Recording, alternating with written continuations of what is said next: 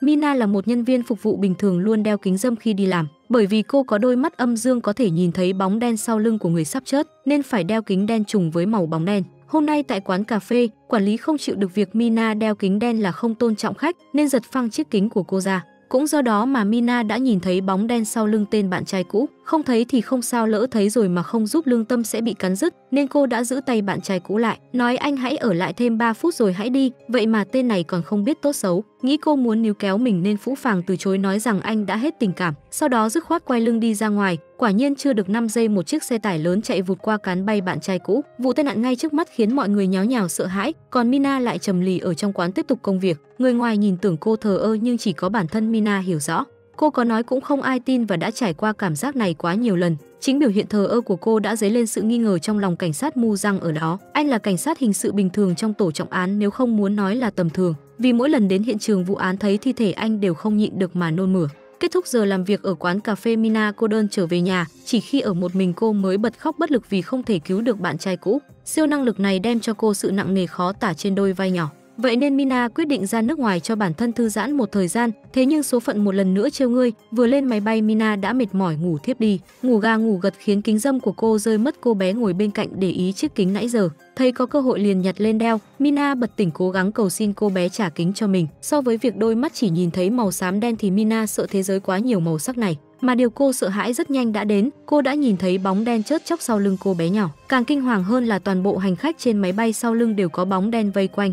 Chắc chắn chuyến bay này có vấn đề nên Mina hoảng loạn làm loạn lên cầu xin mọi người hãy xuống máy bay hết, nhưng vì không ai hiểu nên xem cô là kẻ điên làm loạn tống cô xuống máy bay. Chỉ là một cô gái nên Mina không thể làm gì ngoài giữ lấy mạng mình, máy bay vẫn cất cánh trong sự bất lực tột cùng của cô. Chẳng bao lâu sau báo đài đã đưa tin về vụ máy bay rơi toàn bộ hành khách đã tử vong. Vì là hành khách sống sót duy nhất và cũng là người phát hiện ra máy bay có sự cố, nên Mina trở thành kẻ tình nghi số 1. Cảnh sát đưa cô về đồn cho rằng cô có liên quan đến khủng bố, nên mới biết máy bay chắc chắn sẽ rơi mà xuống trước. Mina không biết nên giải thích thế nào vì cô có nói sự thật thì cũng không ai tin, nhưng cô vẫn phải nói bản thân có thể nhìn thấy bóng đen chớt chóc. Quả nhiên lời vừa nói ra không một người cảnh sát nào tin, chỉ có Mu Găng và một cậu trai khác là tò mò. Chính vì thế tối đó Mu Găng đã lén đến phòng thẩm vấn gặp riêng Mina, hỏi cô về vấn đề bóng đen và đôi mắt tử thần. Thấy có người bắt bắt đầu tin mình Mina cũng thật thà nói ra việc khi cô nhìn thấy bóng đen sau lưng ai đó tức là họ sắp xảy ra điều không may.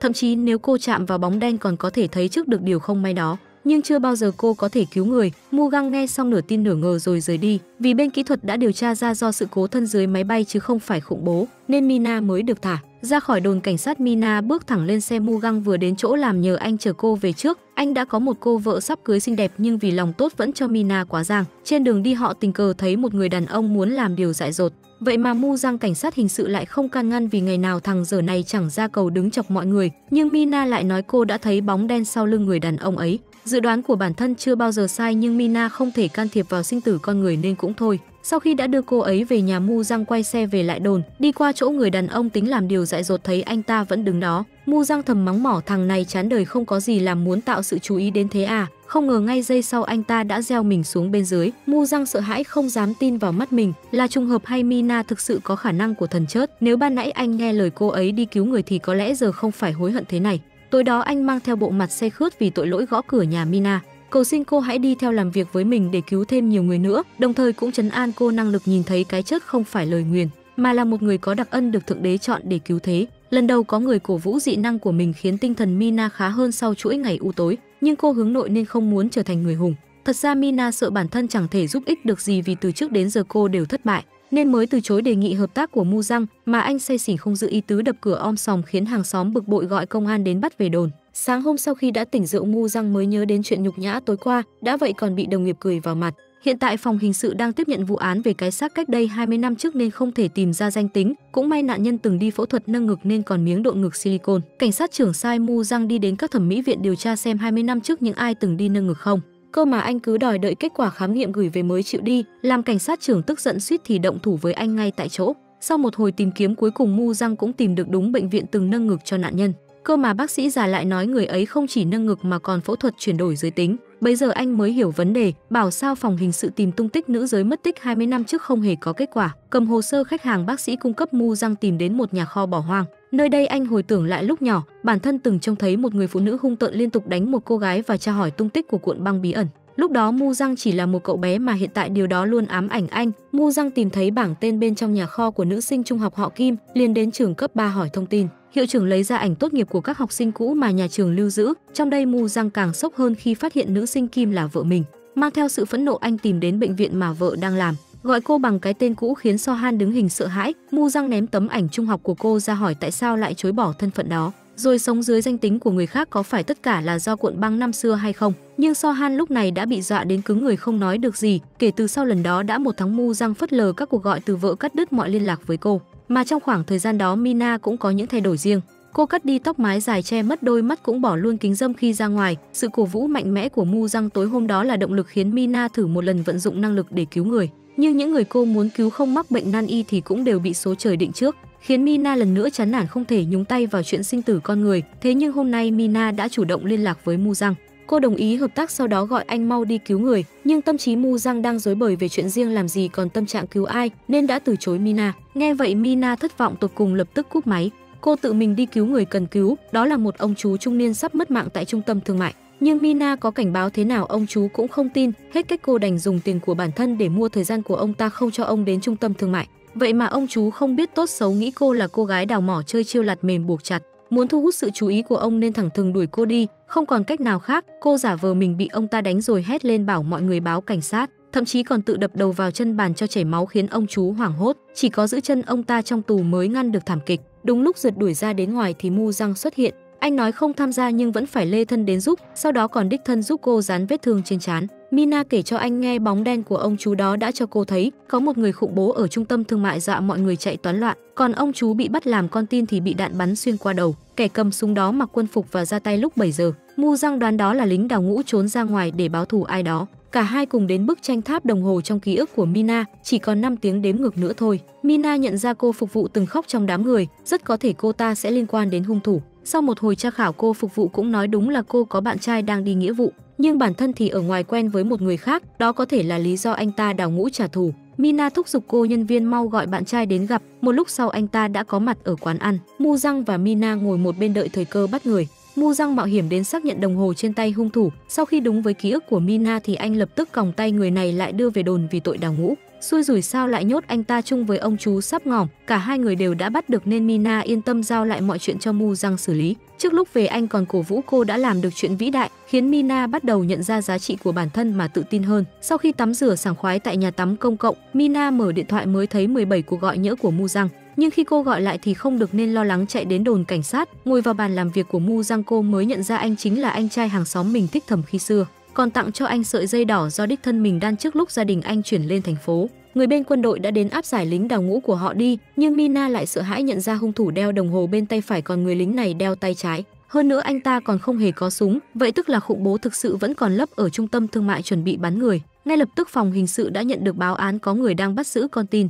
Càng sốc hơn là khi báo đài đưa tin con tin lại là Mu Răng. Sự nhúng tay thay đổi số phận của Mina đã khiến ông chú sống sót còn Mu Răng phải thế mạng thay. Ông chú trong nhà giam hét lên bản thân phải đến trung tâm thương mại để gặp người mẹ bị đáng trí, nhưng ông bị nhốt rồi nên mới nhờ Mu Răng đi thay. Kẻ bắt con tin đang làm loạn thì một tiếng đoàng vang lên, cả hắn và Mu Răng đều ngã xuống, còn Mina suy sụp không thể đứng vững. Lần nữa cô lại thất bại rồi thậm chí còn hại một mạng người. Mu Răng nhanh chóng được đưa vào phòng cấp cứu, bác sĩ làm phẫu thuật cho anh là So Han. Thấy chồng bị thương nặng cô ấy không thể giữ nổi sự bình tĩnh của một bác sĩ. Dù cô có cố gắng ép tim thế nào máy điện tâm đồ của Mu Răng vẫn báo về một đường thẳng. Bệnh nhân đã nhắm mắt xuôi tay vô phương cứu chữa rồi, So Han suy sụp ngồi bệt ra đất. Mina cũng chẳng khá hơn, tinh thần cô hoảng loạn nghĩ mình đã hại chết mu răng nên cũng chẳng thiết sống nữa. Lúc này tại khu chứa xác một bác sĩ bịt kín mặt mờ ám xuất hiện lục tìm cái xác của mu răng. Hắn là kẻ trộm nội tạng muốn trộm đôi mắt của anh, nhưng không ngờ vào giây cuối điều kỳ lạ đã xảy ra. Một người vốn đã chết nay lại mở mắt bật dậy lạ thường, dọa kẻ trộm sợ khiếp vía bỏ chạy. Mu Răng đã mất hết trí nhớ mà nói đúng hơn là thân xác sống dậy chứ linh hồn đã không còn là anh.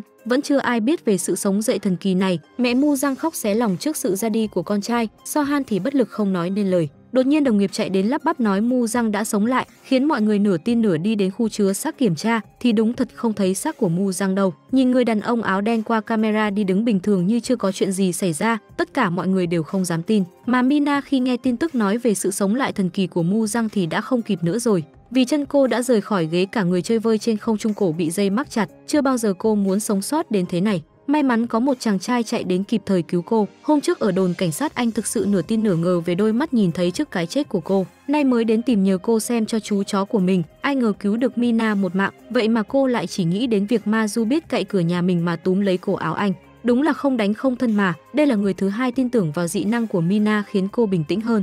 Cô nhờ Ma Du chở mình đến bệnh viện tìm Mu Răng nhưng trên đường đi đã thấy anh loạn choạng trên phố. Chiếc xe đỏ dừng lại Mina phải nói chú chó không sao cả Ma Du mới để cô đi. Cô chạy đến chỗ Mu Răng lo lắng hỏi han anh, còn anh thì mệt mỏi với thân thể con người và chẳng nhận ra cô là ai. Anh ấy đẩy cô ra vô tình khiến vòng tay cũng rơi ra, thì ra đến giờ anh vẫn giữ nó. Mà Mu Răng mới đi được vài bước đã không chịu được ngã ra đất.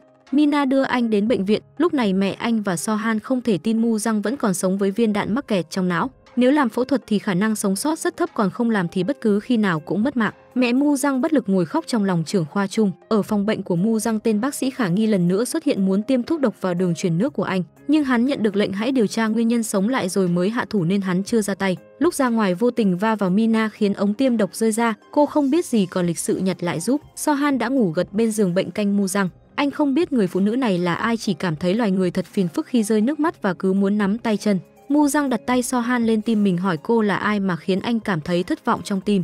Vô tình câu này khiến So Han lầm tưởng Mu Giang vẫn còn ghét cô lắm. Tệ hơn là Mina đứng bên ngoài phòng bệnh nhìn họ tình tứ như vậy, nên không dám vào phá rối dù trong lòng đang rất khó chịu. Dù sao người đàn ông ấy cũng là tình đầu của cô. Khi Mu Giang đuổi So Han ra ngoài thì Mina mới dám bước vào. Đoạn tình cảm ngây ngô lúc nhỏ đã khép lại nhưng hình như dư âm vẫn còn lại trong tim.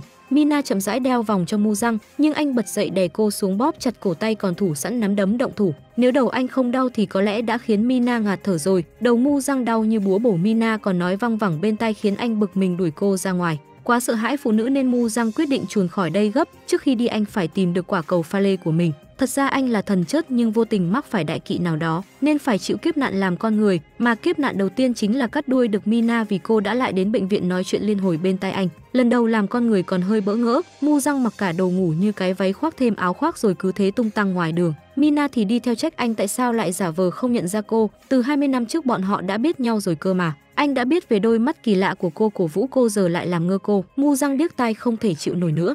Tay không giật luôn nắp cống muốn nhảy xuống cho rồi. Không ngờ sức mạnh của anh có thể kinh ngạc đến như vậy, vì để chạy trốn cái loa di động nên Mu Răng quyết định học cách bắt xe bus. Nhưng anh không biết thứ nào gọi là thẻ xe nên suýt bị đuổi xuống. Cũng may Mina xuất hiện trả tiền thay anh, cô cảm thấy vô cùng khó hiểu trước biểu hiện kỳ lạ của Mu Răng. Ở bệnh viện mẹ Mu Răng lo sốt vó trước sự biến mất của con trai. Cũng may Mina đã gọi cho bà Trấn An rằng con trai bà vẫn ổn chỉ là não hơi có vấn đề. Trên xe buýt Mu Răng dẫm lên chân người khác nhưng không xin lỗi vì anh cho rằng nỗi đau của con người không phải cứ xin lỗi là sẽ hết, khiến người đàn ông bị dẫm chân tức giận suýt thì đánh nhau. Thậm chí Mu Giang còn giành ghế với một cậu học sinh khiến cô gái ngồi gần đó không chịu được nữa phải đứng lên nhường ghế. Mina không còn cách nào khác chỉ đành xin lỗi mọi người xung quanh. Chưa hết một lúc sau có bà lão lưng còng lên xe. Mu Giang thản nhiên nói một câu bà chưa chớt được đâu rồi cũng không thèm nhường ghế cho người lớn tuổi. Bà mắng anh trẻ tuổi vô giáo dục, anh mắng bà con người nhỏ bé không biết trời cao đất dày. Anh ném túi đồ của bà vào Mina khiến cô ngã sấp mặt.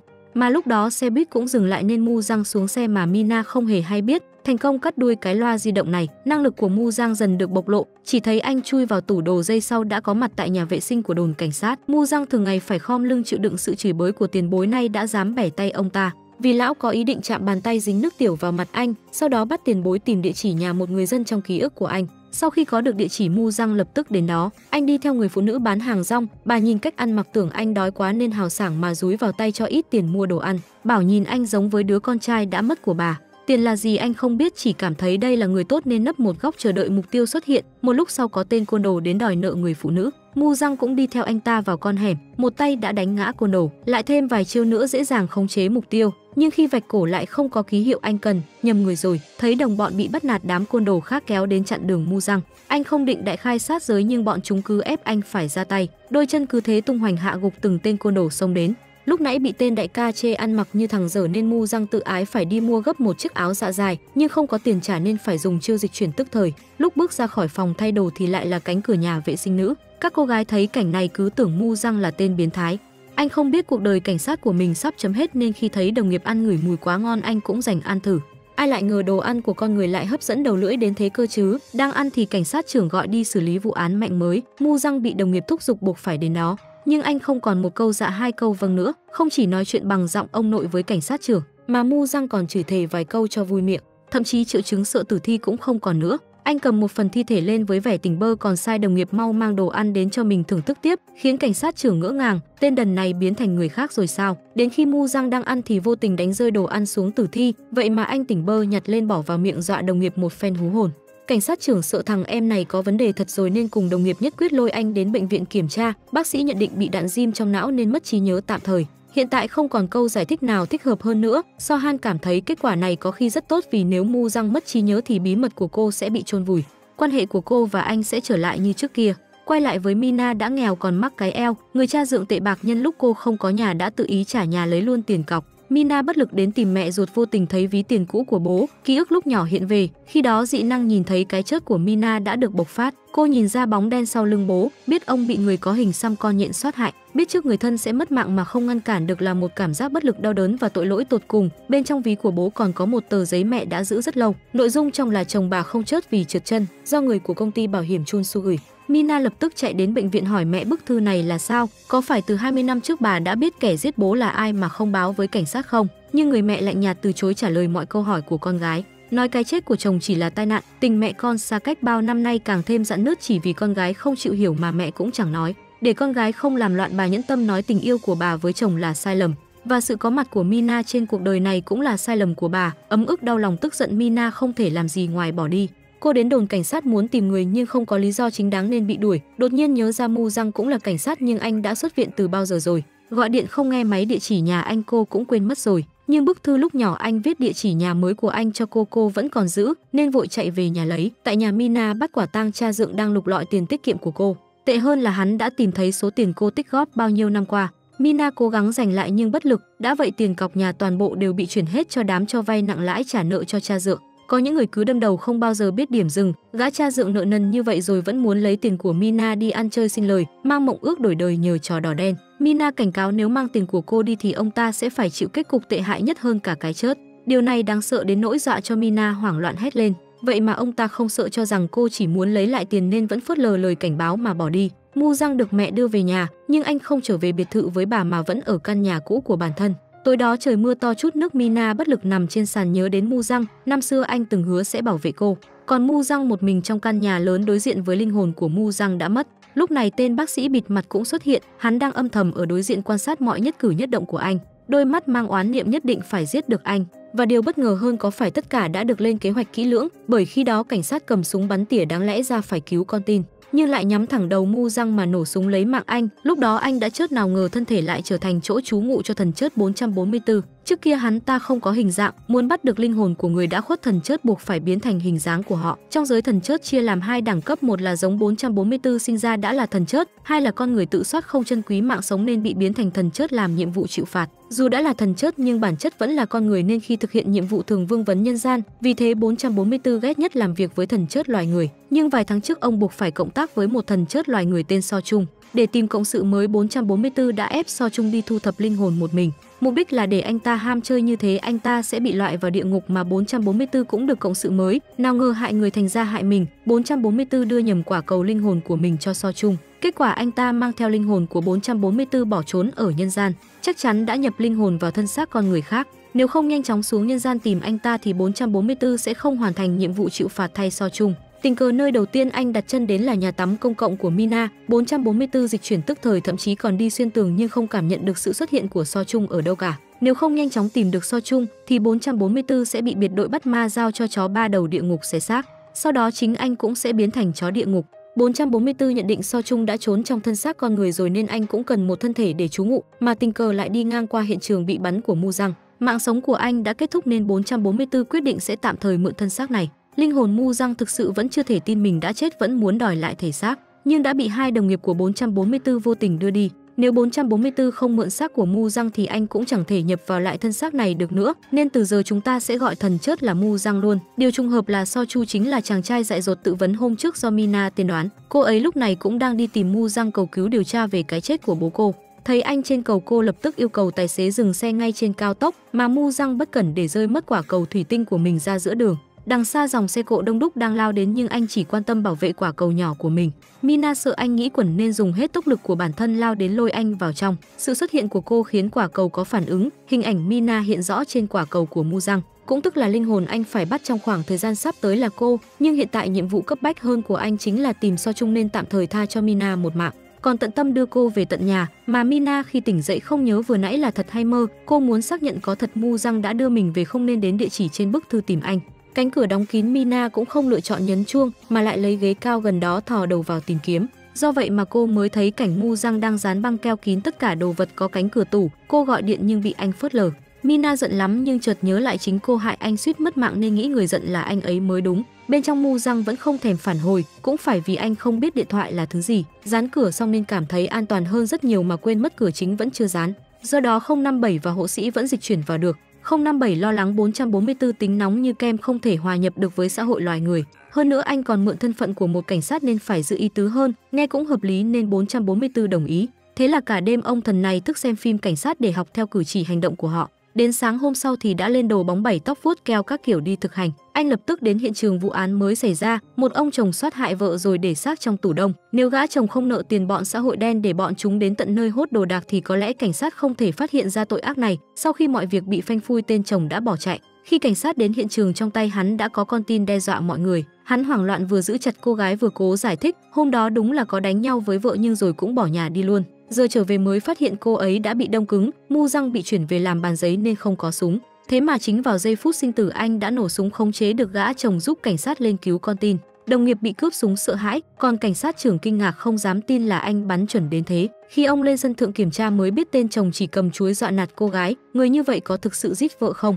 Bên dưới mu răng cũng nhìn ra cô vợ không phải do chồng giết chết, bởi vì ngón tay giữa của người chồng rất bình thường, nhưng trên cổ người vợ dấu vết bị bóp cổ cho thấy chỗ ngón tay giữa rất mờ, dường như bị thiếu mất một đốt tay. Người chồng cũng bật khóc nói hôm đó mình buồn quá bỏ vợ một mình ở nhà mà đi uống rượu, thực sự không giết cô ấy. Nghe xong lập luận của Mu Răng và biểu hiện của người chồng ai cũng phải đồng ý vụ án này chưa thể khép lại được. Nhận thấy mình có tài năng phá án thần sầu nên Mu Răng liên tục chìa tay đòi tổ trưởng phải trả súng cho anh. Cứ đòi như thế đến khi về tận đồn khiến tổ trưởng bực mình không trả. Chưa ai dám bám dai mà còn dám chửi ông như Mu Răng, cảnh sát trưởng nghĩ anh bị tổn thương não nên biến thành một người khác mạnh mẽ hơn rất nhiều rồi hay sao? Mu Răng thường ngày dạ vâng nay dám gọi tổ trưởng là lão chân ngắn khiến ông nóng máu. Ý kiến của ông về vụ án người vợ đông lạnh là vụ trả thù cá nhân cũng bị Mu Răng bác bỏ. Người vợ mất mạng do lạnh chứ không phải do bóp cổ, nên đây là kiểu vụ án biến thái, hung thủ thích hành hạ tra khảo nạn nhân. Đội trưởng lúc đầu còn không tin nhưng ngay sau đó đội pháp y đã gọi đến báo nguyên nhân tử vong quả thực là chết cóng. Mu Răng tiếp tục nói hung thủ muốn dùng thi thể của người vợ để cảnh cáo một người khác và cô ấy bị giết vào một tháng trước chứ không phải mới đây. Pháp y cũng đến thông báo thi thể tử vong từ 3 tuần đến một tháng rồi. Đến lúc này không tin cũng phải tin, Mu Răng quả thực suy luận như thần. Tổ trưởng cũng phải câm nín trả súng cho anh. Ở một phân cảnh khác người vợ bị đông lạnh lại là bạn thân của So Han, khiến cô sợ hãi vì có thể mình là người tiếp theo bị soát hẹo vì uẩn khúc 20 năm trước mà giờ bị trả thù. Đột nhiên có một lưỡi dao sắc bén kề vào cổ So Han, người đàn ông còn có thể nói đúng tên 20 năm trước của cô. Ông ta nói bản thân vừa mới trốn thoát khỏi viện tâm thần nên bây giờ So Han không muốn chết thì phải giúp ông. Hơn nữa người vợ đông lạnh không phải do lão giết mà là đồng bọn cũ. Quay lại với Mina cô vẫn muốn tìm cho ra người đã viết thư cho mẹ cô. Không thể để bố chết oan như vậy được, nhưng Mu Giang lại không chịu giúp. Mina nhìn dây mắc cổ của mình liền nhớ đến Mazu. Anh ta có thông tin của cô ở đồn cảnh sát còn có thể cậy cửa nhà cô, nên chắc chắn anh sẽ giúp tìm được địa chỉ của người viết thư này. Mazu từng nói anh làm việc ở công ty bảo hiểm hoàng gia nên Mina mới đến đây tìm. Không ngờ ở đây cô phát hiện ra bảo hiểm hoàng gia thực chất là bảo hiểm Chun Su đổi tên mà thành. Mà Ma Du lại là chủ tịch mới của Hoàng gia, anh liền giúp cô tìm thông tin của người gửi thư. Người này thực sự là nhân viên của bảo hiểm Chun Su, nhưng đã nghỉ việc lâu rồi giờ đã định cư ở nước ngoài. Sau đó Mina lại nhờ Ma Du xem giúp hồ sơ mua bảo hiểm của bố cô, vì chắc chắn công ty bảo hiểm sẽ điều tra về nguyên nhân tử vong của khách hàng. Hồ sơ từ 20 năm trước nên không còn lưu trên máy. Mazu an ủi Mina, anh sẽ nói nhân viên tìm hồ sơ lưu trữ trong kho nên cô phải đợi một thời gian. Ngay khi Mina rời đi cảnh sát trưởng và Mu Răng cũng đến, vì người vợ đông lạnh là nhân viên của bảo hiểm hoàng gia, cảnh sát trưởng muốn điều tra đồng nghiệp của cô ấy xem có ai bị khuyết đốt tay giữa không. Trong khi đó, chú chó của Ma Du thường ngày ngoan ngoãn nay đối diện với Mu Răng lại trở nên hung dữ cắn người bị thương, khiến cổ Mu Răng lộ ra lớp da thần chớt. Ma Du giải thích chó của anh vốn là chó nghiệp vụ có thể truy lùng mùi thi thể. Nó hiền lắm nhưng không hiểu sao nay lại cắn người. Mu Răng không quan tâm điều đó, anh chỉ lo sợ vì mùi thi thể của Mu Răng đã bắt đầu nồng hơn, cơ thể này sắp không trú ngụ được nữa rồi. Mà thần chất 444 trong cơ thể Mu Răng vẫn có thể nhìn thấy linh hồn như bình thường. Hôm nay suýt chút nữa anh đã bị linh hồn phát hiện may mà kịp thời giả vờ nghe điện thoại mới tránh né được. Ma Du trở về văn phòng đã bị anh trai đánh cho một trận vì vụ người vợ đông lạnh đã bị phát tán tin tức mà không biết xử lý. Để lấy lại danh dự cho công ty Ma Du buộc phải điều tra sâu hơn về vụ án người vợ đông lạnh. Nhìn ảnh của cô ấy trên hồ sơ nhân viên, anh chợt nhớ lại đây là người phụ nữ từng xuất hiện tại đồn cảnh sát và cái chết của cô ấy cũng được Mina dự đoán ngay lúc đó. Chỉ cần hợp tác được với Mina thì vụ án người vợ đông lạnh cũng sẽ nhanh chóng có kết quả, nên Ma Du lập tức chạy đến tìm cô. Đến nơi mới thấy cô ấy đang phải khổ sở trốn tránh chủ nhà vì không có tiền đặt cọc để ở tiếp. Bắt được thời cơ Ma Du lập tức mời Mina về làm nhân viên cho mình với mức lương cao ngất ngửa. Mà công việc của cô là chỉ cần xem khách hàng nào sắp tử vong rồi báo lại cho anh biết. Năng lực này như một lời nguyền đen đủi đối với cô, nên Mina từ chối đánh đuổi anh đi. Mazu không bỏ cuộc anh về công ty tìm hồ sơ vụ án của bố cô, sau đó lại chạy đến cửa nhà Mina. Anh dùng hồ sơ này thuyết phục cô hợp tác. Lúc đầu Mina không tin nhưng khi Mazu nói đến việc trong hồ sơ của bố cô được công ty bảo hiểm Chunsu điều tra, có nhắc đến người có hình xăm nhện trên mu bàn tay. Cô không thể làm ngơ nữa, Mina lập tức ký hợp đồng, cô không cần lương chỉ cần được xem hồ sơ của bố. Hồ sơ của ông vẫn chưa tìm được đầy đủ nên Mazu đưa cho cô danh sách khách hàng VIP để cô đi làm việc trước. Nhiệm vụ của Mina là phải xem sau lưng họ có bóng đen không để công ty biết đường bảo vệ. Tại đồn cảnh sát tổ trưởng gửi những số điện thoại từng liên lạc với người vợ đông lạnh cho đồng nghiệp gọi điều tra, không ngờ lại phát hiện bạn gái của Mu Giang cũng nằm trong số đó. Cảnh sát trưởng cùng Mu Giang lập tức đến bệnh viện đưa ảnh người vợ hỏi So Han có quen không. Cô ta lắp bắp nói một tháng trước từng gọi điện cho cô ấy mua bảo hiểm, hai người quen nhau vì người vợ từng là bệnh nhân của So Han. Cuộc gọi kéo dài tận 5 phút là để vừa mua bảo hiểm vừa hỏi thăm sức khỏe của cô ấy. Tuy nhiên khi giải thích giọng nói của So Han không thể trơn tru được run rẩy như đang che giấu điều gì. Khi cảnh sát trưởng rời đi So Han cố tình giữ tay Mu răng lại hỏi anh, cảnh sát không giữ chi tiết nội dung cuộc gọi đúng không? Cô nghĩ anh biết về nội tình trong vụ này nhưng thần chớt 444 còn chẳng quen cô nên nói không biết rồi bỏ đi. Ngày hôm sau anh đến trường học để tìm tung tích tên thần chớt loài người bỏ trốn.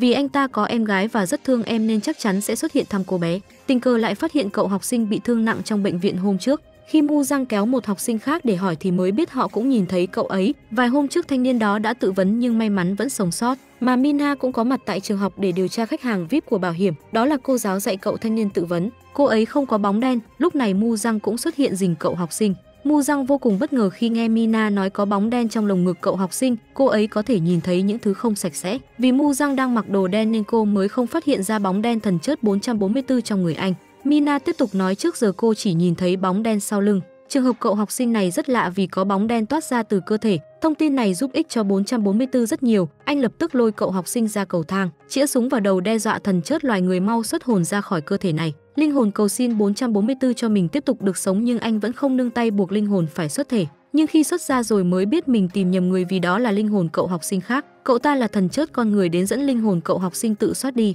Nhưng nỗi vương vấn thế giới loài người khiến cậu làm liều mượn thân thể của bạn học này để tiếp tục được sống. Nếu bây giờ 444 bắt hắn chịu phạt thì hắn sẽ gọi đội bắt ma đến bắt 444 về chịu phạt chung. Vì lúc này khắp giới thần chớt đều đã lan rộng tin 444 bỏ trốn, nhưng 444 chỉ cười khẩy, vì khi thần chớt nhập vào thân thể con người nhưng cơ thể đó bị tổn hại buộc thần chớt phải xuất ra, thì ký ức trong khoảng thời gian đó cũng biến mất, tức là nếu giờ cậu học sinh này tự vấn lần nữa, linh hồn thần chớt loài người sẽ xuất ra và và bị bắt nhưng không nhớ 444 là ai, nên sẽ không tố cáo được anh, nói rồi 444 thẳng tay đẩy cậu bé ngã xuống. Từ sau chuyện này 444 đã để ý đến đôi mắt thần chớt của Mina, cô sẽ là cộng sự xuất sắc giúp anh tìm ra tung tích của tên thần chớt bỏ trốn nên tối đó anh đã đến tìm cô. 444 hỏi Mu Răng có phải tình đầu của cô không, khiến Mina vừa khó hiểu vừa ngại đỏ mặt. Nếu cô thích Mu Răng thì có phải là thích ta đúng không? Vậy hãy ở cạnh ta bám chặt như bã kẹo cao su vào, vì giờ ta cần đôi mắt của cô. Ngay từ lần đầu khi còn ở quán cà phê Mina đã có thể nhìn được thần chết 444 ở sau lưng bạn trai cũ rồi.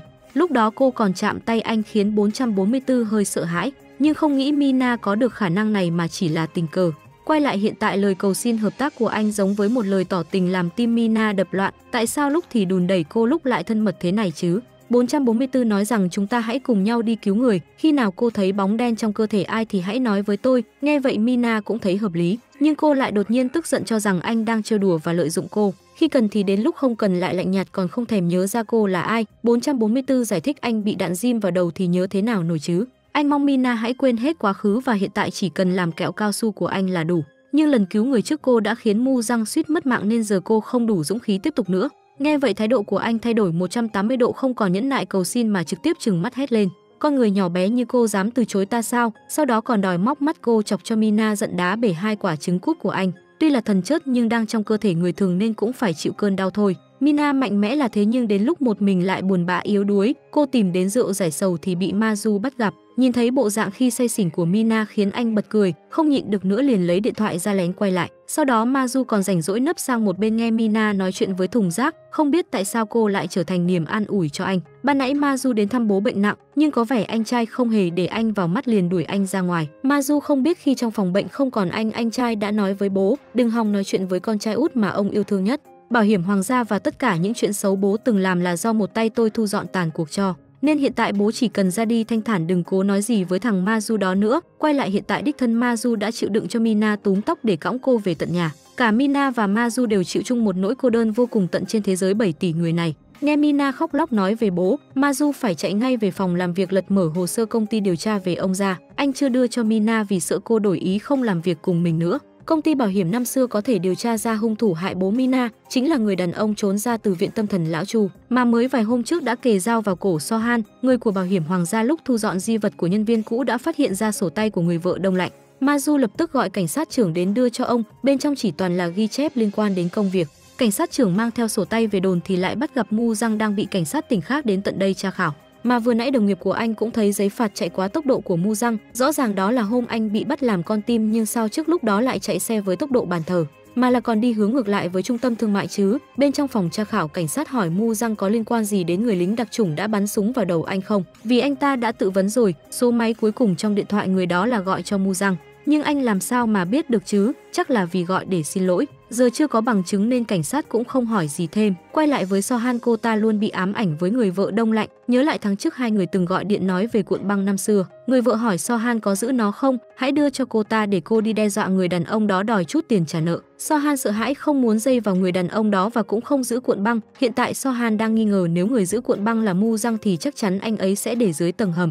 Dù sao trước kia cũng là vợ sắp cưới nên Sohan biết tầng hầm nhà Mu Răng, tuy nhiên cô ta không thể mở được cửa, mà bên ngoài có tiếng người về nên đành rời đi trước. Đúng lúc Mu Răng về nhà bắt gặp sự lén lút của Sohan nhưng anh không quan tâm. Điều khiến Mu Răng bận tâm lúc này là người lính đặc chủng mà anh vừa vào thăm ban nãy. Anh ta nói có người ra lệnh cho anh phải bắn vào đầu Mu Răng, tất cả đã được lên kế hoạch từ trước. Thì ra không đơn giản chỉ là nhầm lẫn, vậy tức là Mina không phải nguyên nhân khiến Mu Răng tử vong. 444 đang phải suy nghĩ cách nói cho Mina biết điều này, để cô không tự trách mình như thế mới có thể làm việc cùng anh. Nhớ lại lúc trước đồng nghiệp có nói, Mu Răng trước khi đến trung tâm thương mại đã chạy xe tốc độ cao đến găng dòng. Nghĩ đến đây anh lập tức chạy đến đồn điều tra vụ này, sau đó lại đến phòng điều khiển xem camera hầm để xe, thì mới phát hiện ra Mu Răng lại chạy đến hướng một khách sạn khác. Cũng chính là lúc lần đầu 444 đến thế giới loài người tìm thần chớt bỏ trốn, vô tình đã đi lướt qua Mu Răng. 444 cho tua lại đoạn phim thì phát hiện, trước khi đi vào khách sạn Mu Răng có nói chuyện với bảo vệ, nghĩ rằng người này sẽ cho Mina câu trả lời thỏa đáng, nên 444 đã cho Mina và bảo vệ gặp nhau.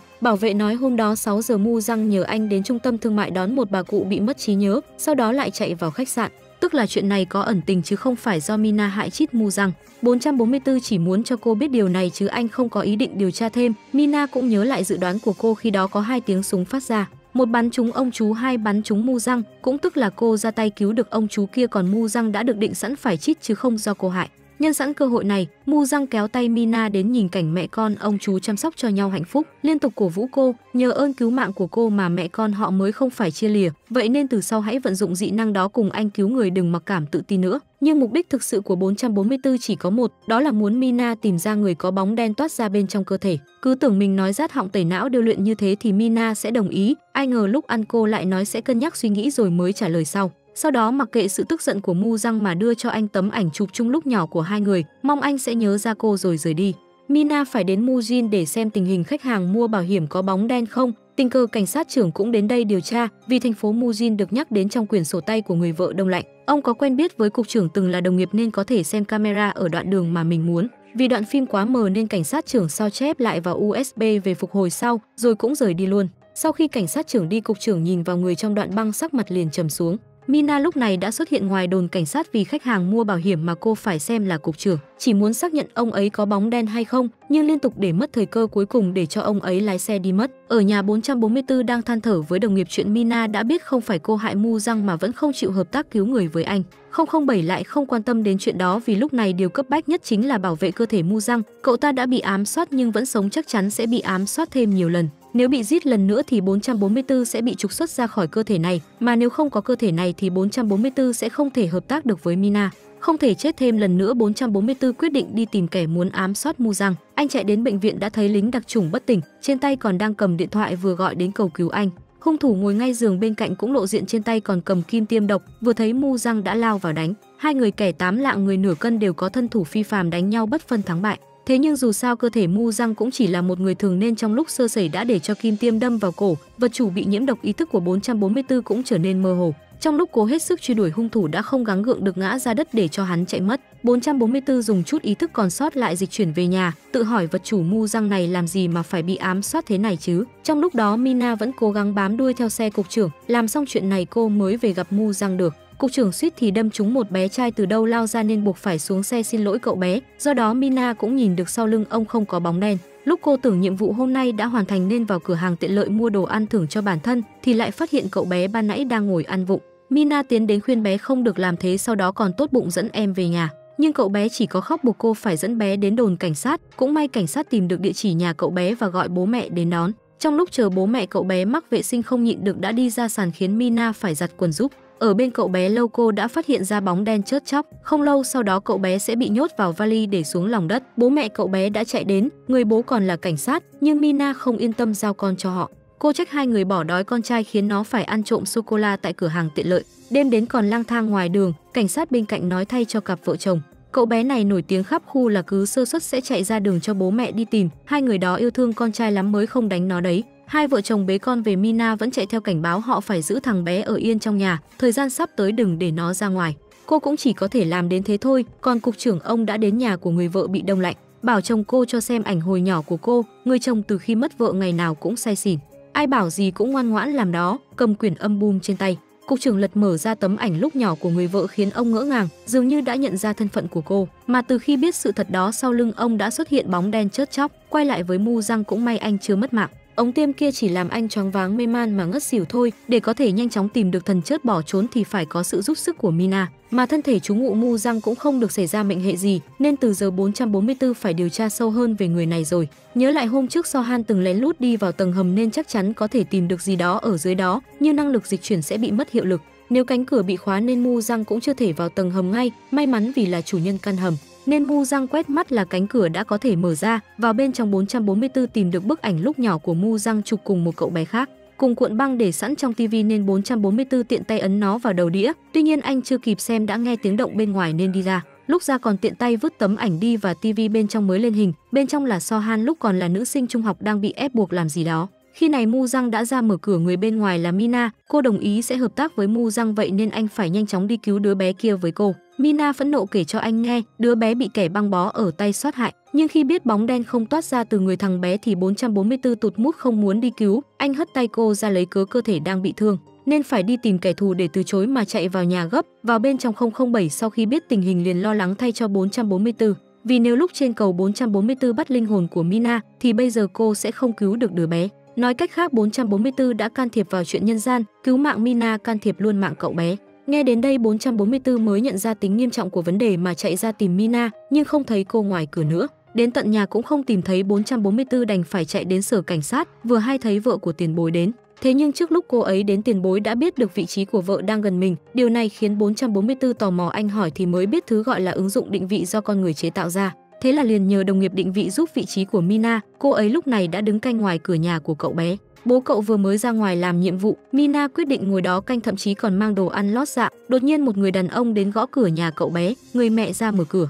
Thì ra đây là thầy giáo của cậu bé đến đưa em đi học, nhưng do hôm qua em ăn nhiều sô cô la nay bị tiêu chảy nên xin nghỉ một bữa. Chờ người mẹ vào nhà Mina chạy đến chặn đường thầy giáo, định hỏi anh biết xung quanh cậu bé có ai tay cuốn băng không. Nhưng chưa kịp hỏi thì vỏ chuối do cô vứt khiến người đi đường bị ngã xe đâm trúng ông thầy, buộc cả hai phải vào bệnh viện băng bó tay. Nhìn bàn tay bị băng bó của thầy giáo Mina sững sờ lẽ nào lại là hắn ta, tuy nhiên người trong ký ức của cô trên băng còn in một dấu ấn đỏ nên cô chưa thể nghi ngờ thầy giáo. Mặt khác Mu Giang lần theo định vị đã đến được nơi Mina từng ngồi rình, nhưng điện thoại hết pin nên không thể tìm được cô ở đâu. Đúng lúc này cậu bé nghịch ngợm lần nữa trốn ra khỏi nhà đi chơi. Theo sau em đã có hai thần chớt trực chờ bắt hồn. Mina đã theo thầy giáo đến tận trường học nhìn cách anh ân cần giảng bài cho học sinh. Cô cảm thấy người này không thể là kẻ biến thái được. Đúng lúc cô định ra về thì thấy cảnh thầy giáo đang vui vẻ đóng dấu cổ vũ học sinh. Anh ta làm rơi con dấu liền có một cậu bé nhặt lên đóng vào vết băng bó tay của hắn. Lần này thì thực sự trùng hợp với tiên đoán của Mina rồi.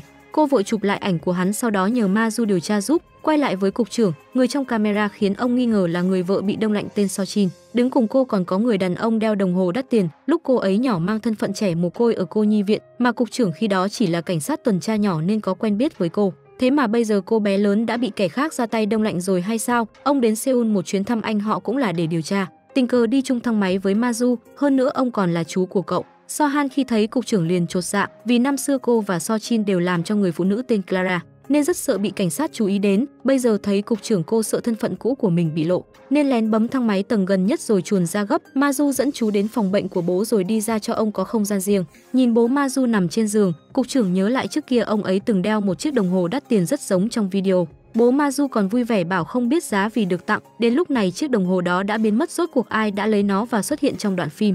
Đang suy nghĩ thì anh trai của Maju đi vào, trên tay lại đang đeo chiếc đồng hồ đó. Năm xưa bố Maju từng tham gia bữa tiệc đồi trụy và có liên quan gì đó đến người phụ nữ tên Clara, nên cầu xin em trai cảnh sát từng tố cáo ông ta. Tình cơ cuộc nói chuyện của hai người bị Mango nghe được. Quay lại hiện tại cục trưởng tìm cớ rời đi trước nhưng biểu hiện của ông đã khiến Mango nghi ngờ. Mặt khác Mu Răng vẫn luôn đi theo cậu bé cả một đoạn đường dài. Đến điểm cuối cùng cậu bé đột nhiên lại leo lên tường trèo vào nhà ai đó. Cách leo chuyên nghiệp của đứa bé cho thấy nó đã thực hiện điều này nhiều lần. Cậu bé đã leo được vào nhà liên tục gọi cái tên ơn hy, mà trong nhà có lắp camera toàn bộ hành động của cậu bé đều bị thầy giáo nhìn thấy hết. Thì ra đây là nhà ông ta và sự đột nhập quá nhiều lần của cậu bé khiến ông thầy vô cùng bực bội lập tức về nhà. Mina thấy có động tĩnh cũng theo sát nút. Mazu cũng đã điều tra ra thân phận của ông ta và báo cho Mina biết khi còn ở nước ngoài hắn từng bị bắt vì lạm dụng trẻ em chậm phát triển trí tuệ. Hắn trốn về Hàn nên mới không bị khởi kiện, không thể chậm trễ Mina phải ngăn tên khốn này làm hại thêm trẻ em nhưng cô chỉ vừa tránh chiếc xe chạy đến đã để mất dấu gã thầy. Mina bất lực đi lên tòa nhà cao nhất nhìn xuống dưới, cuối cùng cũng thấy gã thầy lôi theo chiếc vali mờ ám xuất hiện, chắc chắn hắn giấu thằng bé trong đó rồi. Cô run rẩy gọi điện báo cho bố thằng bé thì mới biết vợ chồng họ cũng đang đi tìm con. Mina hoảng sợ, vậy là đúng thằng bé bên trong vali rồi. Cô chạy xuống dưới bằng tốc độ nhanh nhất, cố gắng chặn trước đầu xe của hắn nhưng hành động này khiến tên thầy giáo phát điên. Hắn gỡ bỏ mặt nạ thầy giáo tri thức mà thô bạo kẹp chặt tay Mina trên cửa kính xe rồi đạp ga lôi theo cô cùng đi. Trong lúc Mina đau đớn và tuyệt vọng nhất 444 đã xuất hiện chặn đầu xe. 444 phẫn nộ lôi thầy giáo ra khỏi xe rồi liên hoàn cước vào mặt nạ giả tạo của hắn. Mina lập tức chạy ra sau xe giải cứu cậu bé, nhưng bên trong lại là cô bé Ơn Hy. Ơn Hy và cậu bé là bạn thân. Tuy nhiên cô bé mồ côi cha mẹ nên bị thầy giáo dụ dỗ về nhà hắn, cậu bé không cam tâm để bạn mình đi mất nên lẽo đẽo đi theo. Thấy nhà của thầy giáo em dùng đôi tay nhỏ bé cố gắng leo lên vào bên trong, cũng là lúc gã thầy đi ra ngoài.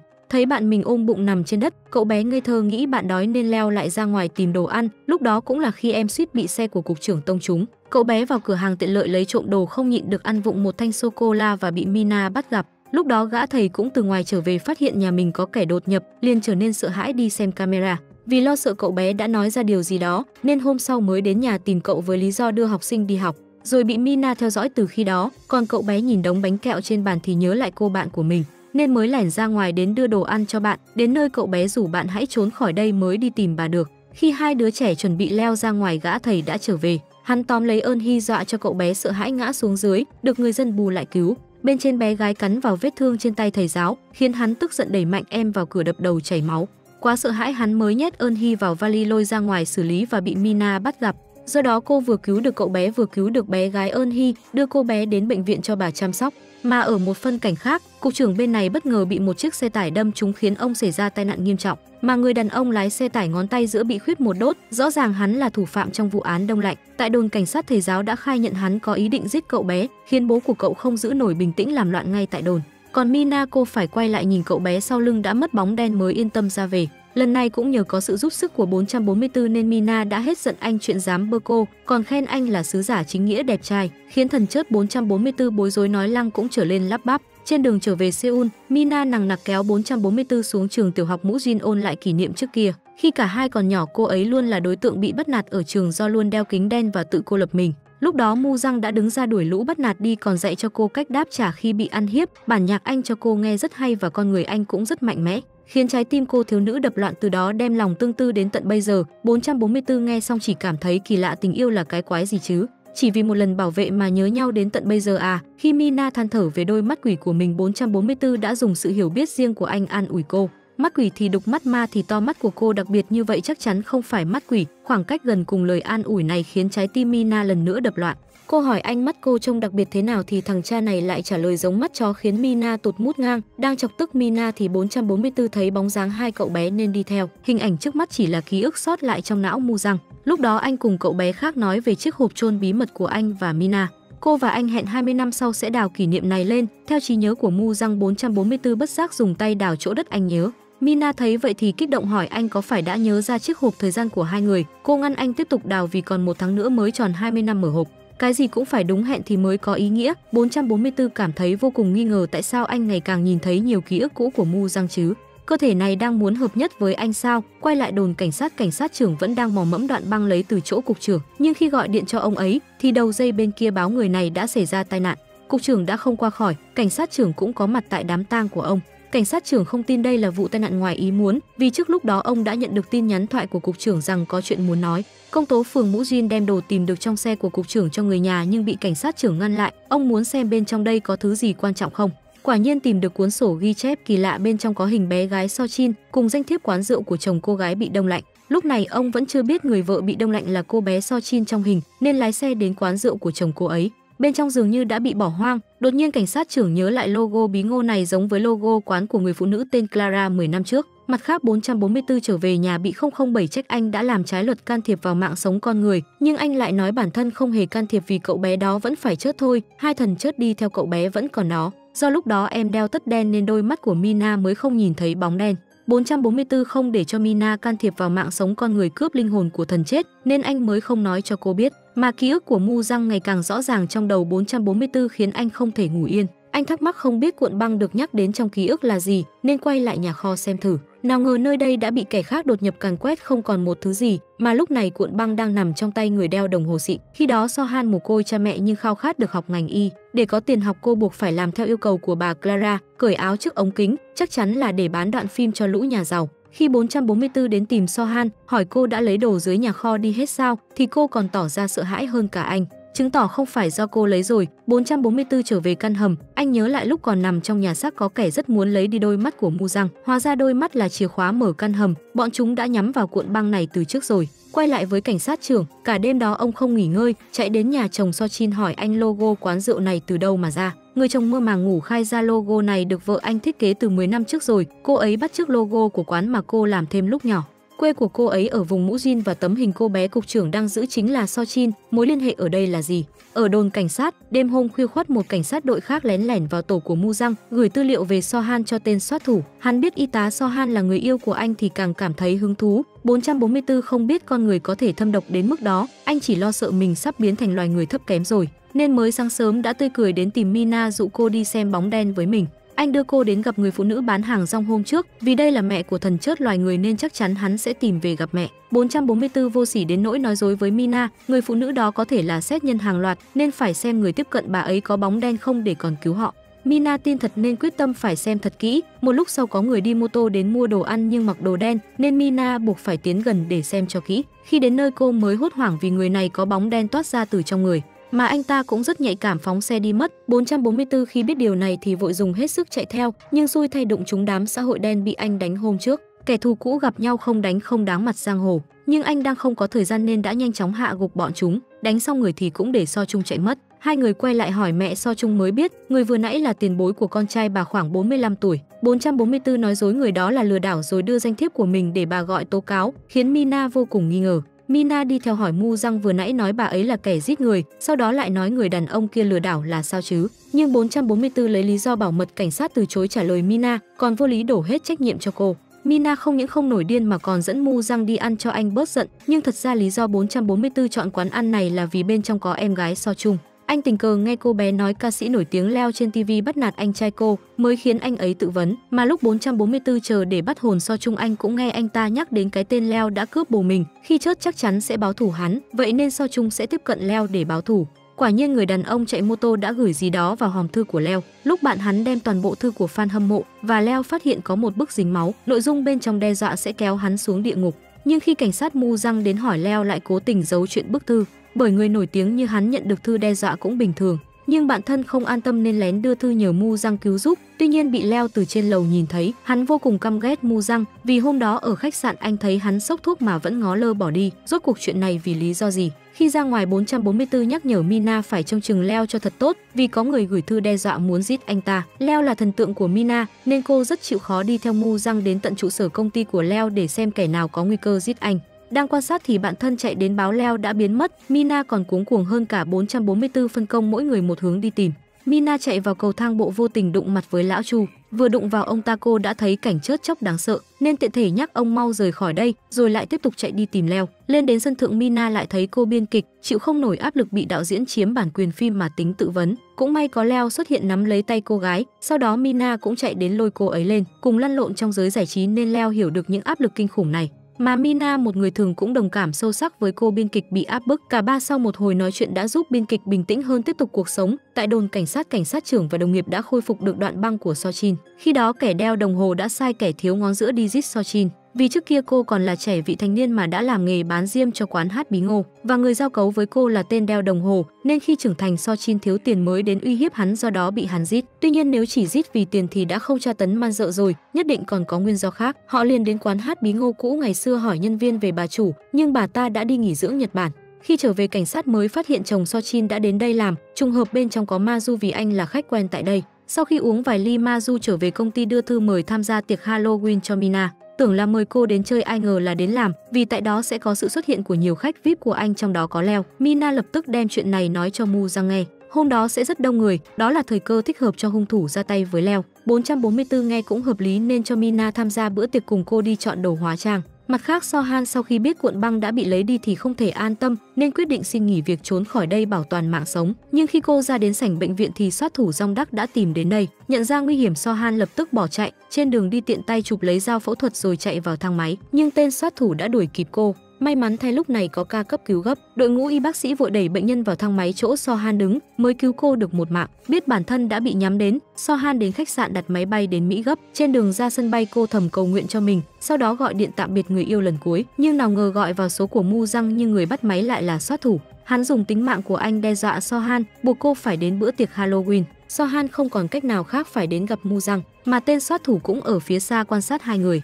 So Han nhân cơ hội này nói ra lời tạm biệt với anh, tuy nhiên lại nói dối mình sẽ đi du học Hoa Kỳ. Nhưng 444 vô cảm không quan tâm không níu kéo, anh vô cùng tức giận khi So Han chủ động hôn mình.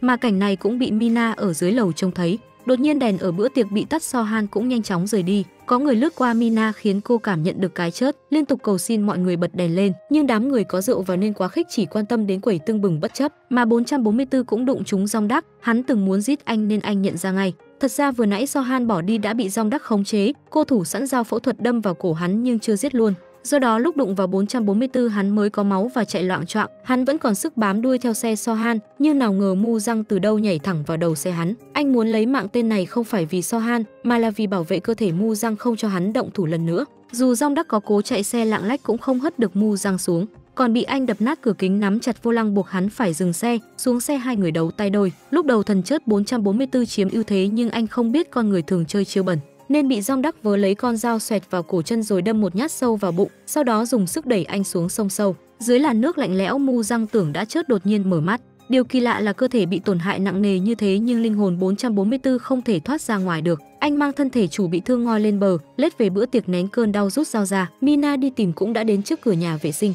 Nghe tiếng rên rỉ của Mu Giang cô đẩy cửa vào nhưng chưa kịp nhìn gì đã bị anh đẩy ra. Vào thời khắc sinh tử 444 không thể ngừng nhớ về Mina, còn cô vẫn đứng ngoài kể cho anh nghe mình vừa nhìn thấy cái chết khủng khiếp của ai đó. Nhưng Mu Giang đã quá mệt mỏi không thể đi cứu người buộc Mina phải đưa anh về. Cảnh hai người đi chung đã lọt vào mắt Ma Du khiến anh bất giác nổi cơn ghen khó tả. Sau khi trở về nhà mình, tâm trạng Mina trùng xuống vì cô đã nhìn thấy cảnh Mu Răng hôn người ta. 444 không thể thoát ra khỏi cơ thể Mu Răng không biết là chuyện vui hay buồn. Vì nếu không thể thoát ra khỏi cơ thể Mu Răng thì dù cơ thể này có bị tổn hại, linh hồn 444 vẫn nguyên vẹn đến khi tìm được thần chớt trốn thoát kia. Nhưng nếu khi đã bắt được so chung mà 444 vẫn không thể thoát khỏi cơ thể con người thì sẽ ra sao anh không dám nghĩ đến. Chưa gì tác dụng phụ đã đến, đó là khả năng dịch chuyển tức thời của 444 bị hạn chế khiến anh ngày càng hoang mang. Mặt khác, sát thủ đã bắt So Han về hang ổ của chúng. Dong Đắc vẫn chưa biết Mu Giang còn sống nên hắn bị cấp trên trách mắng. Bọn chúng lo lắng Mu Giang mất mạng người có địa vị cao hơn sẽ giết chúng, nên cấp bách sai người đi tìm được xác anh trước thế lực kia. Nào ngờ đang gọi điện thoại đã thấy bóng dáng Mu Răng từ nhà bước ra, Dong Đắc không dám tin vào mắt mình vì chính tay hắn đã đâm dao sâu vào bụng anh. Thật ra 444 không dịch chuyển tức thời được nên mới đi bộ, nhưng anh đã phát hiện ra được chân trời mới khi biết cách di chuyển bằng ô tô. Mặt khác Mazu vừa mới tỉnh từ bữa tiệc Halloween đã phải nhanh chóng chạy đến bệnh viện vì được thông báo bệnh của bố đã trở nặng. Anh liền gọi Mina đến xem giúp mình. Trên đường đến phòng bệnh, Mina vô tình đụng trúng một người đàn ông. Cô nhận ra đây là người sắp phải chết mà hôm qua cô dự đoán được. Nhưng Mazu thúc giục quá gấp nên cô không kịp cảnh báo ông ta. Vào phòng bệnh bố Mazu, Mina đành phải lắc đầu vì từ người ông ấy đã có bóng đen vây quanh. Bỗng nhiên anh trai của Maru đi và đuổi họ ra ngoài, vô tình đẩy ngã Mina khiến cô chạm vào bóng đen và biết được ông bị người đeo đồng hồ rút ống thở. Sau khi bị đuổi ra ngoài, Mina lập tức chạy đến chỗ làm của mẹ. Vì theo trí nhớ của cô, người đàn ông sắp chết có người nhà nằm tại bệnh viện mẹ cô làm. Mina muốn hỏi y tá thông tin ông Lee nhưng chỉ có cảnh sát mới có quyền này, buộc cô phải gọi điện cầu cứu Mu Răng. Tuy nhiên lúc này anh phải chật vật với ô tô không làm sao di chuyển xa được. Trong lúc chờ Mu Răng, Mina nói trước với Mazu chuyện bố anh sẽ bị người đeo đồng hồ con bướm giết, mà kẻ soát nhân đó cũng là người sẽ giết ông Lee. Vậy nên bây giờ phải theo sát ông Lee thì mới có khả năng bắt được tên soát nhân trước khi hắn ra tay giết bố Mazu. Bằng một cách nào đó 444 đã đến được bệnh viện còn có địa chỉ nhà ông Lee.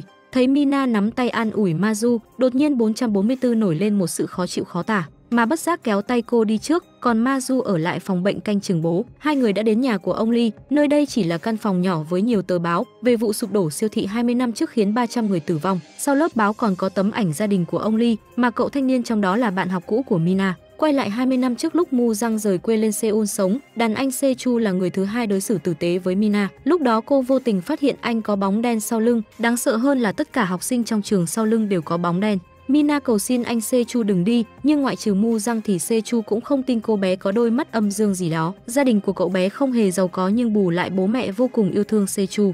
Biết con sắp đi chơi với cả lớp liền bá nhẫn cưới lấy tiền để con đi chơi cho bằng bạn bằng bè, thế nhưng bi kịch từ trên trời ập xuống gia đình nhỏ bé này. Tối đó tiếng khóc đau thương của các bậc cha mẹ mất con, hiện trường hỗn loạn đến đáng sợ. Đúng như những gì Mina dự đoán siêu thị lớn bị sập, lũ trẻ ở trong đó cũng không qua khỏi. Bố mẹ Sechu mang theo tâm lý thấp thỏm đi hỏi thăm tin tức của con chỉ cầu mong thằng bé thoát nạn. Khi hỏi đội cứu hộ có tên con trai mình trong danh sách học sinh tử nạn không, thì nhận được câu trả lời không khiến hai ông bà thở phào. Tuy nhiên sau đó đội cứu hộ đã mang ra một chiếc hộp, bên trong là bàn tay của một cậu học sinh có đeo nhẫn. Hai ông bà vừa nhìn đã biết đó là nhẫn mình tặng cho con trai. Cú sốc này đã khiến họ khóc lóc trong tuyệt vọng. Vụ chấn động này gây ra một làn sóng phẫn nộ mạnh mẽ trong dư luận. Tất cả các tổ chức phụ huynh đều biểu tình ngoài siêu thị yêu cầu một lời giải thích liệu có phải công trình xây dựng bị tham ô vật liệu cắt xén nguyên liệu không. Nhưng ông chủ công trình siêu thị vốn đã lấy hết tài liệu chuẩn bị cho chuyến bỏ trốn ra nước ngoài. Vụ việc sau đó cũng bị vùi xuống do cảnh sát không nhúng tay điều tra sâu, mà ông chủ công trình siêu thị trong lúc bỏ trốn cũng bị tai nạn, nghe nói chiếc xe bốc cháy và cái xác đã biến thành xác cháy đen không rõ nhận dạng. Muốn biết chuyện 20 năm trước và người sắp giết ông Lee có liên quan gì đến nhau thì phải tìm hiểu lý do siêu thị sụp. Cả hai đến Ủy ban điều tra sự thật về siêu thị Mũ Jin để hỏi thông tin vụ án. Đến bây giờ tổ chức này vẫn còn hoạt động. Mina đưa tấm ảnh ông Lee cho mục sư Kang xem thì mới được ông kể cho nghe lý do hai vợ chồng ông Lee mâu thuẫn là vì khi đó hai vợ chồng mất con ngày nào cũng đến nhà thờ cầu nguyện nên mục sư cho họ làm người đại diện gia đình nạn nhân. Tuy nhiên bà Ly lại lấy chức vụ đó lén nhận tiền hòa giải bịt miệng của công ty xây dựng, đến khi bí mật bị đổ bể dư luận lại thổi phồng chuyện này. Đổ lỗi cho gia đình các nạn nhân là nhóm người vô đạo đức bán đứng con mình để kiếm tiền, do đó ông Ly và các gia đình khác đều hận bà Ly. Mà hiện tại ông ấy ở đâu thì mục sư cũng không biết được. Từ lời kể của mục sư câu chuyện rất đau thương nhưng 444 lại cảm thấy ông ta đang nói dối nên cố tình đổ nước trà nóng vào chân gã, đợi mục sư đi thay giày anh mới nói với Mina bản tính xấu xa của người này. Ông ta nói lâu rồi chưa gặp ông Ly nhưng thật ra mới đến nhà của ông ấy vài ngày trước, bởi dấu giày ở căn nhà đó trùng với cỡ giày của mục sư. Mina nhìn tấm ảnh mục sư chụp cùng bố Mazu trên tường, cô cũng bắt đầu nghi ngờ ông ta. Ra khỏi ủy ban Mina lập tức gọi điện hỏi Mazu về mục sư thì mới biết, Trước kia bố anh thường xuyên cung cấp tiền hỗ trợ gia đình nạn nhân cho mục sư đó, khi bố anh bệnh nặng cũng đến cầu nguyện nên Mazu rất biết ơn.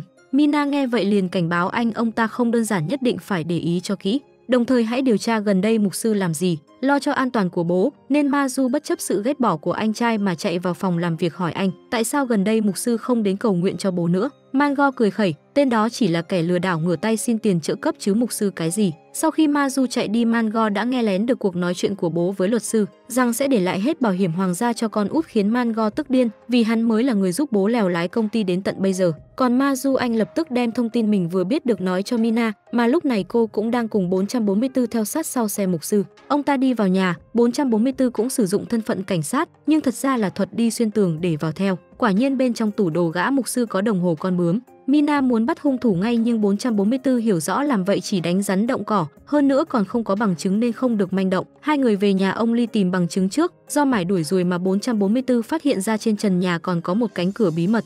Tài liệu rơi từ trên đó xuống là bằng chứng chứng minh mục sư tham ô tiền tài trợ. Mina nhận định có lẽ ông Ly âm thầm điều tra về việc này nên mới bị mục sư sát hẹo, chỉ cần có bằng chứng tham ô là đủ lý do bắt tên gian manh đó đi rồi. Thật ra mọi chuyện không hề đơn giản như vậy là 444 lừa Mina. Vì lúc anh vào nhà nhìn thấy tên mục sư cầm chiếc đồng hồ con bướm trên tay, hắn ta mới run rẩy khai ra rằng mình đã trộm nó từ chỗ ông Ly. Mà khi chở Mina đến bệnh viện tìm ông Ly, 444 rõ ràng thấy ông đi ra theo sau còn có hai thần chớt trực chờ cũng không nói cho cô biết. Chiếc xe chở hàng hôm anh chặn lại để đuổi theo soát thủ cũng là do ông Ly cầm lái. 444 muốn biết sự thật rốt cuộc là gì nên âm thầm bỏ lại Mina mà chạy theo. Đi mãi đến một tòa nhà đang xây dở, khi anh bước vào trong mới phát hiện ông Ly bắt cóc một người. 444 nhớ lại lời Mina nói, hôm Halloween cô đụng vào một người liền nhìn thấy cảnh chớt chóc, người đó bị trói vào ghế sau đó cả tòa nhà sụp đổ, mà Mina ở bệnh viện không tìm được ông Ly nhưng đã phát hiện ra hung thủ không phải mục sư. Vì bóng đen trên người bố Ma Du vẫn còn, xem camera họ mới thấy ông Ly từ bệnh viện đi ra, mà áo ông ta mặc giống với kẻ bắt cóc trong dự đoán của Mina. Khi hai người tìm đến công ty chuyển phát nhanh thì ông Ly đã nghỉ việc. Đồng nghiệp dọn dẹp xe của ông ta lấy ra con mắt đồ chơi, Ma Du nhớ lại đó là con mắt hóa trang của bạn mình Seven. Quả nhiên lúc này tại tòa nhà bỏ hoang Seven đang nằm trong tay ông Ly. Seven là con trai của nhà thầu siêu thị năm xưa. Ông ta trốn không chịu trách nhiệm thì ông Lee sẽ bắt con trai ông ta chịu. Xung quanh đã phủ đầy chất nổ. 444 tiếp tục đi theo ông Lee đến một tòa nhà khác, nhưng đến nơi lại không thấy ông ta đâu. Bên trong cũng đầy đủ thiết bị quay phim ghi hình. Ông Lee từ từ xuất hiện phía sau 444 khống chế anh. Khi biết anh là cảnh sát, ông Lee càng thêm phẫn nộ. Lợi dụng thời cơ đó 444 lập tức khống chế đánh bay con dao ép ông ta vào tường rồi ném ông ta xuống đất. Chiếc đồng hồ anh giữ cũng rơi ra lọt vào mắt ông Ly khiến ông ta căng thẳng, hỏi tại sao anh có chiếc đồng hồ này. Qua lời nói của ông Ly câu chuyện lại chạy sang một hướng mới. Vì chiếc đồng hồ này được nhà thầu tặng cho con trai ông ta nên ông Ly mới trộm để dùng nó đe dọa nhà thầu xuất hiện, nhưng chẳng phải nhà thầu đã bị tai nạn xe cháy khét rồi sao? Ông Ly phẫn nộ kể hắn ta vì để trốn tránh trách nhiệm nên mới lấy tai nạn ra làm cái cớ để trốn sang nước ngoài. Vợ ông không tin hắn đã chết nên mới muốn ra nước ngoài tìm hắn. Tuy nhiên để xuất ngoại cần số tiền rất lớn trong khi gia đình nghèo túng nên bà mới mặt dày lấy tiền bồi thường chịu sự sỉ nhục hắt hủi của mọi người một mình xuất ngoại đến một đất nước xa lạ, không dám tin tưởng ai cô đơn ngồi ăn bánh mì trên đường phố cầm cự qua ngày. Cách tìm người của bà cũng cố chấp và đáng thương, vì không có ai hỗ trợ nên mỗi khi nhìn thấy ai giống nhà thầu bà đều kéo lại xem cho thật kỹ mặt, nhưng 10 lần như một đều khiến bà ôm nỗi thất vọng, cho đến khi bà biết nhà thầu có tình nhân nên cắn răng đến nhà tình nhân làm bảo mẫu phục vụ cho kẻ thù chờ thời cơ đánh úp. Quả nhiên không bao lâu sau tên khốn chủ thầu đã xuất hiện, Bà Ly cố gắng giữ bình tĩnh, trước tiên phải chụp lại bằng chứng hắn chưa mất mẹ trước, nhưng bị hắn phát hiện ra, tên độc ác đó lần nữa làm chuyện xấu biến người mẹ vô tội trở thành người thực vật tống bà về Hàn. Ông Ly còn hiểu lầm vợ, thấy bà nằm liệt giường thì phẫn nộ ném bể tấm ảnh chụp gia đình. Vô tình điều này giúp ông thấy tấm ảnh nhà thầu trong đó, biết khoảng thời gian qua vợ âm thầm chịu đựng và tên khốn nạn vẫn đang sống nhởn nhơ. Ông Lee mang thêm nỗi hận của vợ sống đến tận bây giờ để vừa đòi lại công bằng cho con trai vừa trả thù cho vợ. 444 mắng ông Lee đã để thù hận che mờ mắt, vì con trai và vợ mình mà lại chọn cách làm hại đứa trẻ vô tội khác chỉ vì bố nó là hung thủ.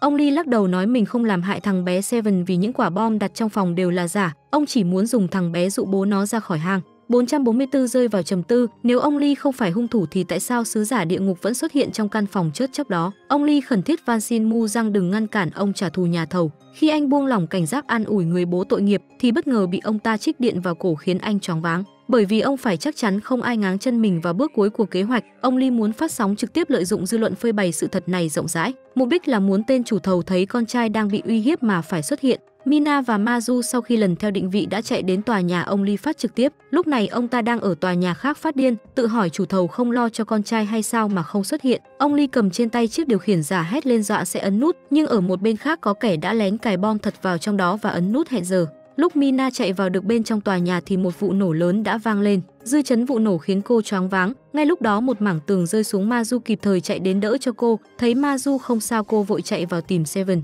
Con tin đã tắc thở khiến cô vô cùng tự trách bản thân đã chậm một bước, nhưng khi mở tấm vải trùng đầu ra người bên trong khiến Mina sốc nặng, vì đó chính là bà Ly. Hóa ra ban nãy tên soát thủ đã lén cháo đổi Seven thành bà Ly, còn tiện thể đổi toàn bộ bom giả thành bom thật đổ mọi tội lỗi cho ông Lee. Sau khi xác định vụ nổ này đã được lên báo, soát thủ tiếp tục gọi cho cảnh sát, nói hắn là người bán bom và ông Lee mới mua thêm một quả bom lớn hơn chỗ hắn để cho vụ nổ mới. Sau đó hắn cho người phát hình người vợ đã mất mẹ của ông Lee lên màn hình lớn chọc tức ông. Ông Ly hoàn toàn tuyệt vọng đến cùng cực lao ra ngoài. Bên ngoài cảnh sát đã bao vây nhắm súng vào ông, ông chỉ muốn nói nút ấn trên tay mình là giả. Tuy nhiên trước đó cảnh sát nhận được cảnh báo từ soát thủ nên ngăn ngừa ông Lee nhấn bom mà bắn ông mất mạng tại chỗ. 444 chạy đến thì đã quá muộn rồi. Ông Lee không phải hung thủ nhưng báo chí lại đưa tin ông bị hoang tưởng do mất con trai, nên 20 năm sau mới trả thù người nhà của chủ thầu đã chết nhưng bị hoang tưởng thành hại vợ mình. Trước lúc chết, ông Lee đã cố đưa cho Mu Răng dãy số mật mã tủ đồ cá nhân của mình, nhờ anh mở ra một bí mật nào đó. Bên trong là toàn bộ những tấm hình chụp lại bằng chứng chủ thầu còn sống. Mu Răng đứng trên một tòa nhà cao và lập tức giải rác hết những tấm hình đó xuống dưới phố. Người dân lần nữa hoang mang và cảnh sát cũng phải bắt tay vào cuộc truy tố chủ thầu phát lệnh truy nã. Hai vợ chồng họ Ly đã mất nhưng 444 đã giúp họ đạt được kết quả họ muốn, hung thủ rồi sẽ phải bị lôi ra ngoài ánh sáng. Thần chết 444 vô cảm không quan tâm đến sống chết loài người nay lại đích thân nhúng tay vào chuyện nhân giới, chứng tỏ trái tim của anh bắt đầu đập như con người. Chưa kịp đợi chủ thầu bị cảnh sát bắt thì hắn đã bị sát thủ xử ngay trên tàu trốn ra nước ngoài. Lão già cứ nghĩ sát thủ theo phe mình nhưng giờ tại sao lại trở mặt như thế chứ? Mặt khác cảnh sát trưởng nhận ra đồng hồ chủ thầu đeo trong bức ảnh bị lan truyền, giống hệt với đồng hồ trong đoạn phim lấy từ chỗ cục trưởng. 444 không thể ngồi im vì anh cảm thấy ông bà Ly chất không hề đáng nên muốn lôi kẻ đứng sau ra ánh sáng. Chẳng bao lâu sau anh đã có thể tìm đến chỗ tên tóc vàng đã tráo đổi Seven với bà Ly. 444 còn nhẹ nhàng hỏi gã chủ thầu hiện đang ở đâu, nhưng bọn chúng không biết điều ỷ đông muốn dùng nắm đấm. Anh cũng không ngại cho đám con người tầm thường này giãn gân cốt một chút. Thấy vậy tóc vàng nhanh chân chạy trước 444 cũng đuổi theo sát nút. Khi chạm mặt nhau lần nữa hai người đã ở hai sân thượng của hai tòa nhà đối diện. Tưởng đã cắt đuôi được mu răng tóc vàng thành thơi trêu tức anh, sau đó gọi điện hỏi sát thủ vì sao không giữ bí mật cho hắn để cảnh sát truy đuổi hắn. Sát thủ chuẩn bị xử lý chủ thầu nghe đến cảnh sát liền lo lắng, dặn tóc vàng có bị bắt thì cũng phải biết giữ mồm giữ miệng. Chưa kịp đợi bọn chúng nói xong Mu Răng đã mở cửa sân thượng bước ra, tóc vàng không dám tin tốc độ của người bình thường có thể nhanh như vậy. Nhưng đây là sự thật rồi vì cú đấm ngu Răng giáng xuống mặt hắn rất đau. Để bảo vệ cái mạng hành của mình tóc vàng phải khai ra vợ con chủ thầu đã trốn ra nước ngoài. Ông ta cũng đi bằng đường tàu ở cảng Jokhion rồi, đó cũng là cứ điểm bí mật của bọn chúng. Lúc này ở cảng Sohan cũng bị nhốt tại đây. Sát thủ đang muốn phanh chủ thầu cho bò ăn xóa dấu vết, nhưng hắn lại muốn dư luận biết cái chất của lão hơn nên đem lão ra lại cảng. Bên cạnh xác chủ thầu còn có thư nhận tội vụ sập siêu thị tất cả là do ông ta. Lúc này Mu Răng cũng từ thùng xe bước ra, thấy xác chủ thầu bị người dân vây quanh anh biết mình đã chậm một bước. Còn Minako đang tự nghi ngờ năng lực của mình, vì rõ ràng trong dự đoán người mất mạng là Seven nhưng thực tế lại là bà Ly. Mina càng sốc hơn khi người đeo đồng hồ là chủ thầu, nhưng chính hắn cũng mất mạng. Vụ nổ đó quá bất ngờ, nhớ đến vụ nổ Mina liền đến bệnh viện thăm Mazu, tên giám đốc cô ghét lại đích thân che chắn bảo vệ cô một mạng, nên lúc này không biết nên cảm ơn anh thế nào. Còn Mazu nhìn thấy Mina bình an là anh đã vui lắm rồi tình yêu chỉ đơn giản thế thôi. Mina nói cho Mazu biết chủ thầu đã mất mẹ. Khi cô chạy đến phòng bệnh của bố anh xem tình hình thì bóng đen trên người ông cũng biến mất. Mina vui mừng chạy về nói tin tốt này với Mazu, khiến anh phấn khích mà nhảy lên ôm lấy cô. Cô vừa đi chưa bao lâu thì Mango đã vào phòng bệnh của bố, mở tivi lên trên đó chiếu về cái chết của chủ thầu. Điều này kích thích ông bố khiến ông ta mở mắt. Còn Mango thì thích thú mỉm cười có vẻ anh biết sự việc năm xưa và mối liên hệ của bố với tất cả. Thì ra 20 năm trước khi bảo hiểm hoàng gia vẫn còn là bảo hiểm Chunsu, Mango đã cố phản đối nhưng bố anh vẫn ký hợp đồng giao dự án siêu thị cho chủ thầu đảm nhận. Kết quả lão ta ăn chặn vật liệu khiến 300 mạng người chết oan uổng. Vì để không phải trả phí bảo hiểm cho hàng trăm mạng người, cha Mango đã cấu kết với chủ thầu tạo ra vụ tai nạn xe giả trốn tránh trách nhiệm. Người phụ trách đã chết nên công ty bảo hiểm cũng không cần phải liên hệ bồi thường, tài liệu liên quan đều bị cha Mango tiêu hủy sạch sẽ. Mango còn đơn thuần nhưng kể từ lúc đó anh ta đã bị sự độc ác của bố lây nhiễm, vài ngày sau anh còn vô tình nghe được cuộc nói chuyện của cục trưởng với bố mình. Ông bố tệ hại không những độc ác mà còn biến thái khi giao du với trẻ vị thành niên do chủ thầu sắp xếp, nên mới giao dự án siêu thị cho chủ thầu. Nhưng bị cục trưởng phát hiện nên mới có cảnh ông bố quỳ xuống cầu xin bạn mình đừng tố cáo, mà đứa trẻ ông ta giao du chính là So Han đang thiếu tiền học đại học và So Chi người đã bị đông lạnh. Do đó So Han mới sợ hãi quá khứ nên giấu thân phận và cũng sợ cuộn băng bị lộ ra. Mango không dám tin bố mình chỉ vì được giao du với trẻ mà sẵn sàng giao dự án trăm tỷ cho chủ thầu. Để giờ công ty phải lao đao nên anh đâm ra hận bố đến tận bây giờ. Quay lại với 444 trái tim anh đã cảm nhận được sự đồng cảm, thậm chí còn đi ghen với thần tượng của Mina là Leo mà vẽ bậy lên mặt cậu ta. Khi nghe cô nói bản thân muốn sống tới già 444 nhớ lại hình ảnh linh hồn Mina mà anh phải bắt đột nhiên lại chạnh lòng. Ra ngoài thấy cục đá luôn khiến cô vấp anh không nhịn được phải xử lý nó ngay. Ngày hôm sau Mina không bị vấp đá nữa thì liền cảm thấy lạ lạ, nhưng vẫn phải đến đồn cảnh sát lấy lời khai vụ vợ chồng ông Ly, vì Mina là nhân chứng thấy tóc vàng tráo đổi con tin ở bệnh viện. Sau khi cho lời khai xong cô rời khỏi đồn thì thấy một cô bé mới nhỏ xíu đã có bóng đen sau lưng. Thậm chí mẹ của em cũng có cái bóng tương tự. Lúc Mina chạm tay vào bóng người mẹ mới biết cô ta muốn ôm con gái tự vấn. Trong lúc Mina còn chưa biết phải làm sao thì cô gái đã mở lời nói trước. Thì ra cô là tỷ Fanny, cô gái làm việc ở quán bar và cũng là bạn của Mazu. Cô nhắc nhở Mina đừng tin tưởng gã tối đó vì vết thương trên mặt cô cũng là do Mazu gây ra. Mina phẫn nộ tìm đến Mazu tặng anh một cái tát đau điếng.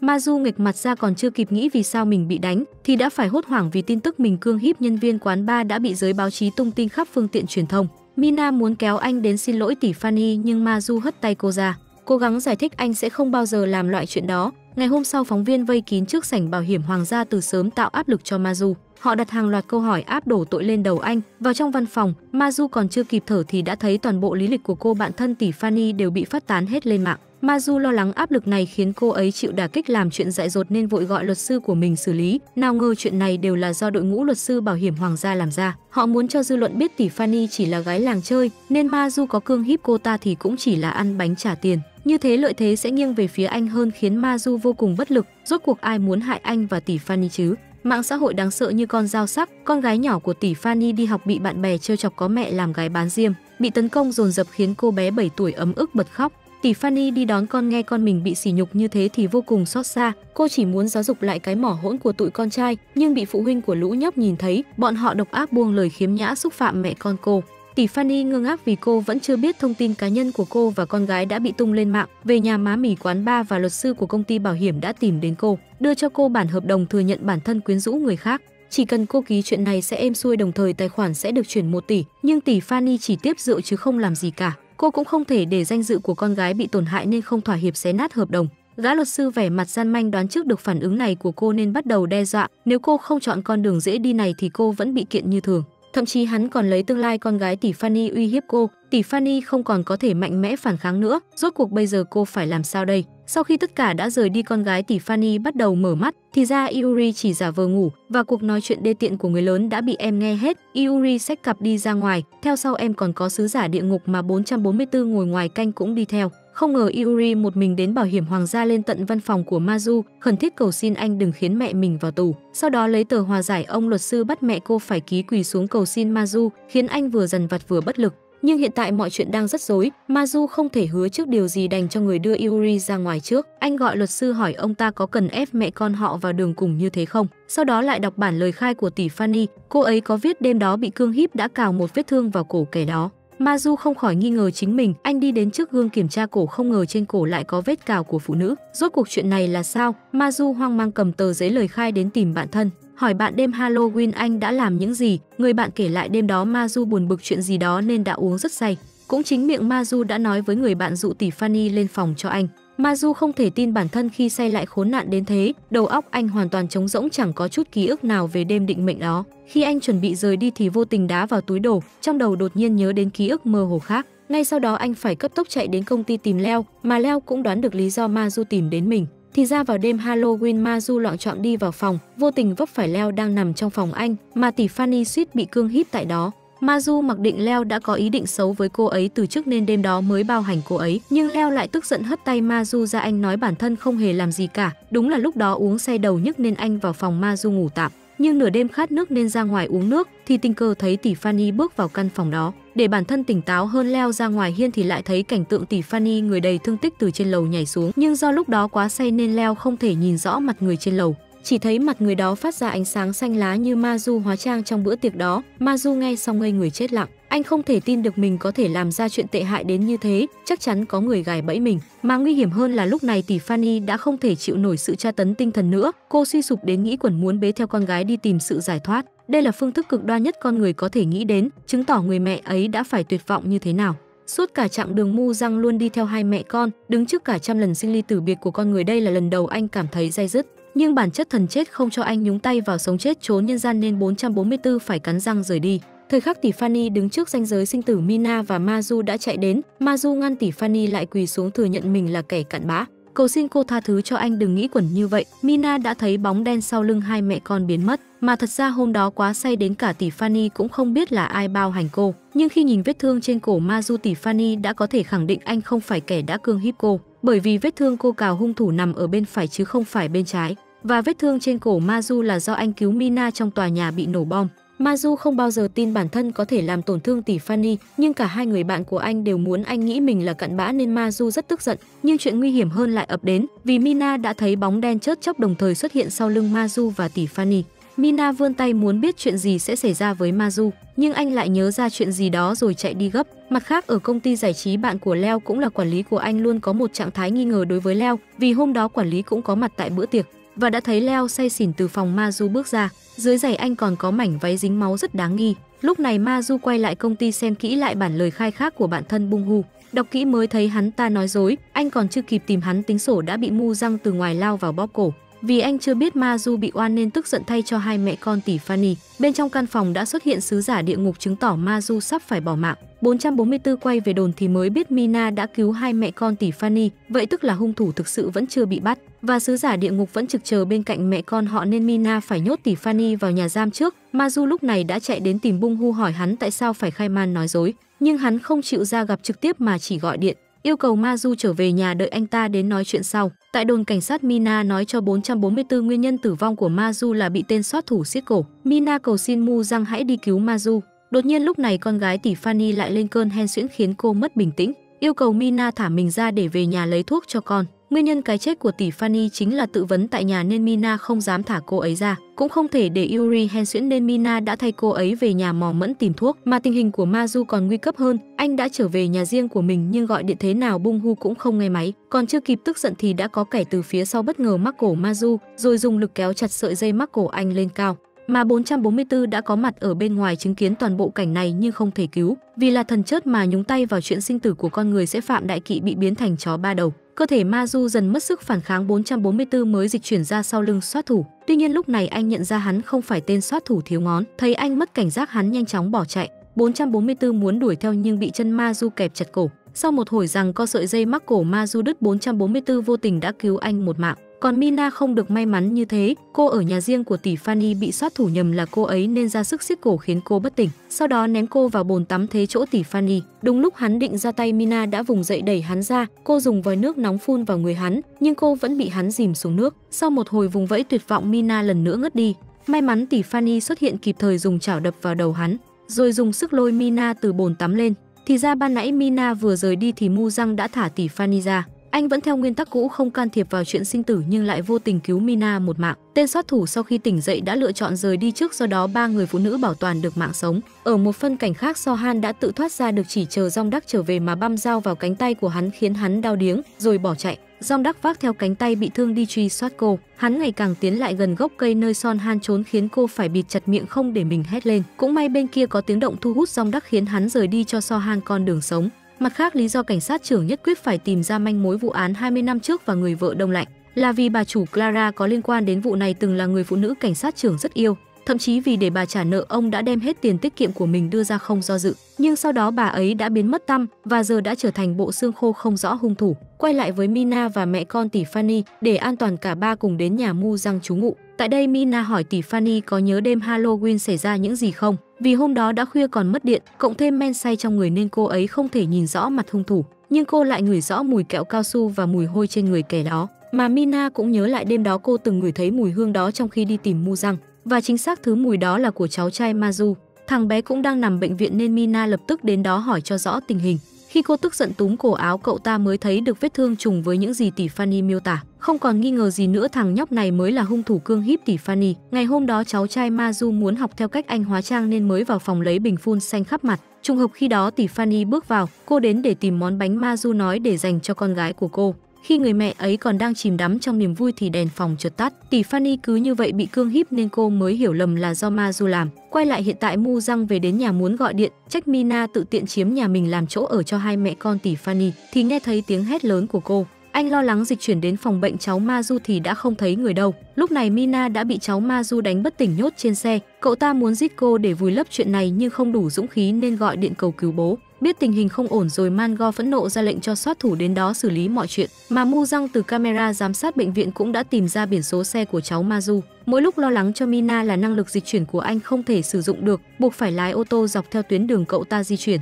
Cháu Ma Du thấy có xe chạy đến tưởng bố đến cứu nên vui mừng chạy ra đón. Tuy nhiên khi thấy người trong xe là Mu Răng cậu ta lại hốt hoảng nhảy lên xe phóng ga đâm gãy rào chắn mà bỏ chạy. Mu Răng cũng hết ga hết số đuổi theo. Một cuộc rượt đuổi sinh tử diễn ra trên đường cao tốc ngay trong đêm. Để thằng nhóc quá khích này dừng lại, Mu Răng đã liên tục tông vào đuôi xe dọa cậu ta. Nhưng cũng vì thế vô tình khiến cốp xe mở ra Mina đang ở bên trong. để cô ấy không bị thương Mu Răng buộc phải ngừng va chạm sau đó tăng ga đi song song hét lên yêu cầu cháu Ma Du tấp vào lề. Cậu ta trong cơn hoảng loạn không nghe lọt tai được chữ nào chỉ biết bỏ chạy nhanh nhất có thể. Thấy cậu nhóc không có ý định dừng lại Mu Răng đã ép xe cậu ta vào hàng rào. Chiếc xe của cháu Mazu mất lái lật vài vòng trên không trung, cũng may Mina đã ngã từ cốp xe xuống trước. Mu Răng lo lắng chạy đến ôm lấy cô ấy đang bất tỉnh. Lần đầu thần chất 444 cảm nhận được sự lo lắng của con người. Anh không muốn can thiệp chuyện sinh tử nhưng bây giờ lại mong muốn cô ấy tỉnh dậy nên liên tục gọi tên cô. Kỳ tích đã xảy ra Mina chậm rãi mở mắt. Cứ tưởng mọi chuyện dần êm đẹp thì cháu Mazu đã chui ra khỏi xe cầm sẻng lớn đi về phía Mu Răng vung sẻng đập một phát mạnh vào đầu anh khiến Mu Răng mất ý thức tại chỗ. Khoảng khắc anh ngã xuống đôi môi đã chạm vào môi Mina, nụ hôn tử thần gắn kết hai linh hồn trái ngược của hai thế giới khác nhau.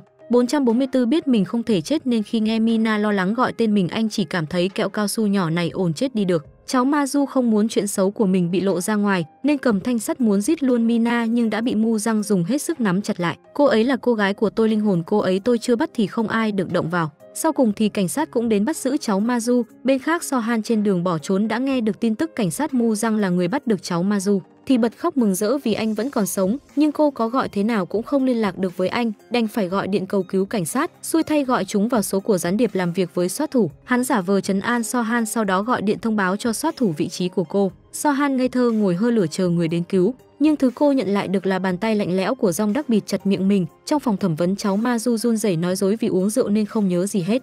Thằng nhóc này còn trong độ tuổi vị thành niên còn có luật sư giỏi nhất Hàn Quốc biện hộ cho, nên cảnh sát dù có tức điên cũng chưa thể kết án. Ma Du biết bố con anh trai muốn đổ tội lên đầu mình nên cuối cùng cũng bùng nổ, hét vào mặt gã anh trai mà mình luôn sợ hãi rằng từ giờ anh sẽ không nhẫn nhịn nữa, chắc chắn món nợ này anh sẽ đòi lại hết. Mango không để em trai vào mắt vì trước giờ Ma Du vẫn luôn là một con bù nhìn chẳng có chút đe dọa nào. Mặt khác Mu Răng cũng tỉnh lại trong bệnh viện. Nụ hôn kia khiến anh bối rối, chính anh còn không biết mình lo cho đôi mắt của cô hay chính xác là lo cho cô ấy nữa. Vậy nên anh cầu xin Mina từ giờ hãy ở cạnh mình đừng chạy lung tung thì anh mới có thể bảo vệ cô, khiến con gái người ta ngại mà chạy đi mất. Trở về nhà Mu Giang cố gắng tìm lại quả cầu linh hồn của mình nhưng kỳ lạ nó đã biến mất không dấu vết. Mà lúc này thứ sẽ hút linh hồn Mina ấy đang nằm trong tủ cá nhân của người khác. Khi biết chuyện này 007 còn lo lắng hơn cả 444 vì nếu quả cầu rơi vào tay con người thì không sao, chứ một khi bị thần chết khác nắm giữ thì sẽ rất nguy hiểm. Vì hắn mở quả cầu ra cũng là lúc Mina buộc phải mất mẹ, cô ấy mà chớp khả năng để 444 tìm được thần chết bỏ trốn so chung sẽ rất thấp, mà càng ở lâu trong cơ thể con người 444 sẽ càng có khả năng bị biến thành loài người. Không ngờ quả cầu ấy đang nằm trong tay tình nhân của mẹ Mu Răng. Lúc thay bà dọn dẹp nhà hắn đã thấy quả cầu 444 giấu trong gấu bông, mà điều nguy hiểm hơn trưởng khoa trung chính là thần chết so trung bỏ trốn. Hắn rất thông minh không nhập vào người nhà của mình mà nhập vào người bên cạnh người thân của Mu Giang. Bây giờ chắc chắn anh là thần chết 444 rồi, còn có liên quan đến cô gái loài người Mina, nên chuyện về sau sẽ dễ hành động hơn. Người đi xe mô tô tiếp cận bà mẹ bán hàng rong cũng là hắn, vì là thần chết nên hắn cũng có khả năng nhìn thấy bóng đen sau lưng con người. Phía khác Sohan sau khi bị bắt về đã bị soát thủ cho hỏi. Hắn cầm dao điên cuồng hét lên hỏi cô cuộn băng ở đâu nhưng Sohan lực bất tòng tâm.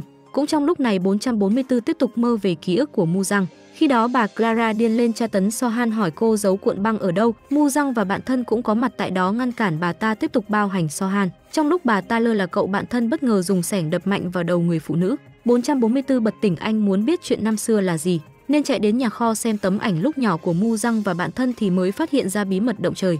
Cậu em nhỏ đập sẻng mới là người tên Mu Răng. Người ngơ ngác sợ hãi mà bấy lâu chúng ta vẫn nghĩ là Mu Răng thật ra lại là anh lớn tên Chun. 444 mang theo sự nghi ngờ đến hỏi mẹ Mu Răng thì mới biết hai người là anh em cùng cha khác mẹ. Anh trai tên Chun nhưng đã mất do tai nạn xe, hung thủ đâm xe bỏ trốn khỏi hiện trường khi đó cũng không có camera giám sát nên vụ án nhanh chóng bị khép lại. Vậy là người thực sự là mối tình đầu của Mina là anh lớn Chun đã mất từ lúc rời quê lên Seoul nên cô bé mới không biết. Và Mu Răng quá giống Chun nên sau này cô mới nhầm lẫn anh. Đó cũng là lý do Mina cứ gọi Mu Răng là anh Chun, còn Mu Răng khi lớn lên không nhận ra Mina mà đem lòng yêu Sohan. 444 không biết có nên nói sự thật này cho cô ấy nghe không, nhưng thấy cô xuất hiện anh vẫn bất giác giấu tấm ảnh đi. Mina mang theo cây đàn trước kia Chun từng đàn cho cô nghe để 444 thực hiện lại. Nhưng anh làm gì có hoa tay nào mà đàn với hát nên nói dối mình mất trí nhớ quên hết rồi. Mina đột nhiên nhớ lại năm xưa Chun từng bị một đám đàn anh bắt nạt. Bọn chúng còn dùng dao vô tình đâm một nhát sâu vào tay anh chắc chắn sẽ để lại sẹo. Nhưng bây giờ bàn tay mu răng láng trơn hoàn toàn không có gì hết, anh trột dạ rụt tay lại rồi đuổi Mina về. Cô đang hụt hẫng thì thấy viên đá luôn làm mình vấp đang ở nhà mu răng. Thì ra anh đã cậy nó lên cho cô thật ấm áp biết bao. Chuyển cảnh vì đang trong độ tuổi vị thành niên còn có luật sư giỏi nhất Hàn Quốc biện hộ cho. Nên mặc kệ sự phẫn nộ của dư luận cháu Ma Du vẫn được thả ra với lý do không đủ chứng cứ định tội, con trai mất dạy như thế cũng do người bố. Mango không những không trách con trai mà còn vui vẻ gọi điện cảm ơn quan chức cấp cao đã giúp đỡ bố con hắn trong vụ này. Đúng là có tiền có quyền khiến bản chất con người méo mó đến đáng sợ. Thằng nhóc trở về nhà còn buông lời sỉ nhục chú mình khiến Ma Du thực sự không nhẫn nhịn nổi nữa. Lúc này tình máu mủ ruột thịt cũng chẳng còn ý nghĩa gì, mà Mango đứng trên lầu cao cũng nhăm nhe xử lý em trai chiếm đoạt tài sản. Vì công ty bảo hiểm hoàng gia là phần tài sản sẽ thuộc về Ma Du. Tối đó khi về nhà anh có gọi thế nào cũng không thấy chú chó yêu quý ra đón. Khi Ma Du kịp nhận ra có chuyện gì đó không ổn thì đã có hai vệ sĩ mặt lanh tanh từ ngoài bước vào không nói một lời nào cứ thế lôi anh đi. Hóa ra hai kẻ này là người của Mango, cảm thấy bị sỉ nhục Ma Du tức giận lao lên đấm thẳng vào mặt người anh trai. Mango cũng không tiếp tục che giấu tham vọng của mình nữa hắn cho người dắt chú chó của Mazu ra uy hiếp anh. Nếu không ký vào bản hợp đồng chuyển giao quyền thừa kế bảo hiểm hoàng gia cho Mango thì chú chó sẽ bị giết ngay lập tức. Đối với Ma Du chú chó như chỗ dựa tinh thần vững chắc là thứ anh gắn bó nhất trên cuộc đời này, nên không còn cách nào khác anh phải cắn răng quỳ xuống cầu xin anh trai đừng làm vậy, còn chấp nhận chịu hết mọi tội lỗi cho cháu trai. Thấy sự hèn nhát của em trai Mango được nước lấn tới, theo thói quen cũ dùng gậy đánh gôn tra tấn Mazu, chú chó thấy chủ nhân bị đánh chỉ có thể sủa lên bất lực. Mazu đã sức tàn lực kiệt bị Mango ép phải ấn vân tay vào hợp đồng. Tài sản cứ thế bị người thân ruột thịt chiếm đoạt đầy man dợ, mà con trai Mango đứng trên lầu cao thấy cảnh ấy lại mỉm cười thích thú. Nó thậm chí còn gọi điện cho bạn bè huynh hoang nói luật pháp nước mình thích thật rất khoan dung với tài phiệt và trẻ vị thành niên ấy. Thằng nhóc cũng thừa nhận mùi ngải cứu hôm trước chính là thuốc nó đốt lên người, sau đó mới phấn khích làm hại tỷ Fanny. Vẻ mặt khốn nạn này rất nhanh thôi sẽ phải trả giá đắt. Sáng sớm hôm sau Nam đã xuất hiện ở sân bay xung quanh là cánh nhà báo sẵn sàng đưa tin trực tiếp. Nam bị dọa sợ muốn chạy vô tình khiến vali rơi xuống lộ ra thuốc. Có ngay tin tức nóng hổi con trai bảo hiểm hoàng gia mang theo Mai Thúy bỏ trốn ra nước ngoài trong khi vẫn còn bị điều tra. Điều này càng khiến mọi người nghi ngờ sự công bằng của viện kiểm sát khi thả người nhanh chóng như vậy. Tại viện kiểm sát cũng nhận được video Nam nói chuyện với bạn bè thừa nhận mọi tội lỗi của mình, nên có nhận hối lộ rồi thì cũng không thể giúp bố con Mango che giấu được nữa. Rất nhanh cảnh sát đã đến tận nhà áp giải Nam đi trong sự sốt sắng của Mango. Không phải cái gì cũng mua được bằng tiền nhất là sự phẫn nộ muốn khai trừ cái ác của những người cảnh sát liêm chính, mà người làm tất cả chuyện này chính là thần chớt 444. Anh không thể nhìn nổi sự kiêu căng của Nam và chuyện thằng nhóc ác độc này suýt giết Mina của anh được trắng án, nên tối đó đã dịch chuyển đến nhà của Nam, thấy cảnh Ma Du khóc thảm thương trước chú chó cưng bị sát hại 444 quyết phải nhúng tay vào chuyện con người lần nữa. Anh vào phòng Nam lén quay lại toàn bộ cuộc nói chuyện của thằng nhóc với bạn. Sau đó đợi Nam ngủ say đưa thằng nhóc ra sân bay rồi gọi cho đám phóng viên đến săn tin. Cứ như vậy con trai nhà tài phiệt kiêu căng hách dịch đã phải chịu sự trừng phạt thích đáng của pháp luật. Chuyển cảnh tại công trường thi công dự án mới của bảo hiểm hoàng gia, người điều khiển máy xúc đã đào trúng vật cứng gì đó nên ngừng công việc. Các công nhân nhảy xuống hố dùng tay phủi đất vật thể lộ ra dọa họ khiếp kinh hồn vía, vì đó là xác người đã bị chôn vùi nhiều năm. Ngay lập tức sự phẫn nộ của các bậc cha mẹ có con bị chôn vùi trong vụ sập siêu thị năm xưa có cớ để biểu tình trước cửa công ty bảo hiểm, yêu cầu họ ngừng thi công toàn bộ công trình mới. Khi biết bộ xương tại công trình mới đã được xác định, mọi người lập tức chạy đến phòng pháp y. Bác sĩ đứng trước phóng viên nói bộ xương được xác định sơ bộ là của một học sinh cấp 2 bị chôn vùi trong vụ sập siêu thị 20 năm trước tên Bi Úc. Mẹ Bi Úc nghe xong tay chân mềm nhũn. Sau 20 năm hy vọng con còn sống dù có nghĩ ra ngàn lần kết quả như này nhưng lúc nghe tin vẫn không thể chấp nhận nổi. Mặt khác, thần chớt hộ sĩ bên cạnh 007 đột nhiên lại bị bóng đen vây quanh ngay sau đó đã bị biến thành bộ dạng khác. Mà khuôn mặt ấy chính là bộ xương khô vừa được đào lên lúc nãy. 007 không lấy làm lạ còn chúc mừng hộ sĩ vì có lẽ hiện tại thi thể của cậu đã được tìm thấy rồi. Nhìn bố mẹ khóc lóc vì mình hộ sĩ cuối cùng cũng nhớ ra, khi đó anh là người trêu chọc Mina có con mắt âm dương kỳ quái còn không cho Chu tin lời Mina do đó cả hai đều tử nạn tại siêu thị. Thần chớt thật ra đều là con người, không phải loại người tự vấn thì chính là người mất tích chưa được tìm thấy xác. Trong khi đó cảnh sát trưởng vẫn đang dốc sức điều tra vụ bà Clara. Khi hỏi bà chủ mới của quán hát bí ngô mới biết, năm xưa Clara mang hết tiền của chị em bỏ trốn cùng hai cô nữ sinh hái tiền của quán. Một cô tên So Chin, một cô tên Kim Yeong tên cũ của y tá So Han. So Chin là người vợ bị đông lạnh còn Kim Yeong là ai chứ? Cảnh sát trưởng lập tức đến trường học hỏi về album ảnh cũ mới biết Mu Răng cũng từng đến đây điều tra về người tên Kim Yeong. Tuy nhiên trang thông tin cá nhân của Kim Yeong bị xé mất nên không thu được gì. Cùng lúc đó So Han vì để sống đã thỏa thuận với Jong Đắc, cô sẽ tiếp cận Mu Răng để tìm lại cuộn băng. Vì nếu thứ đó lọt ra ngoài cuộc đời của cô sẽ bị hủy hoại. Jong Đắc không còn cách nào đành đồng ý cũng không quên đe dọa So Han nếu trốn thì hắn sẽ chặt chân cô. Sohan được thả về nhà cô nhớ lại lúc trước khi bản thân đã mang thân phận mới, phủi sạch quá khứ rồi mà số phận vẫn cho cô gặp lại Mu Giang. Khi đó anh đã trở thành cảnh sát trong một lần bị thương nặng đã được So Han cứu sống. Từ đó anh đã đem lòng yêu cô dù vết thương có nhỏ cũng đến bệnh viện khám để tìm cô. Sự xuất hiện thường xuyên của Mu Giang khiến So Han bắt đầu rung động. Nếu lúc đó cô không mở lòng thì bây giờ đâu dẫn đến chuyện rắc rối thế này, giờ muốn bảo toàn mạng sống và chôn vùi quá khứ thì phải lừa anh ấy thôi. Ở phân cảnh khác Mina được Mu Giang đưa về nhà không ngờ mẹ đã ngồi chờ cô từ trước. Bà lo lắng hỏi con gái có phải đã nhìn thấy bóng đen trên người cha dượng không. Mina không muốn quan tâm ông ta nhưng cô không thể làm ngơ khi nghe mẹ nói em trai mắc bệnh máu trắng, tủy của thằng bé tương thích với tủy của cha dượng. Tuần trước ông ta nói ra ngoài làm ăn đến giờ đã mất liên lạc nên mẹ muốn hỏi Mina có nhìn được cái chết của ông ấy thế nào không.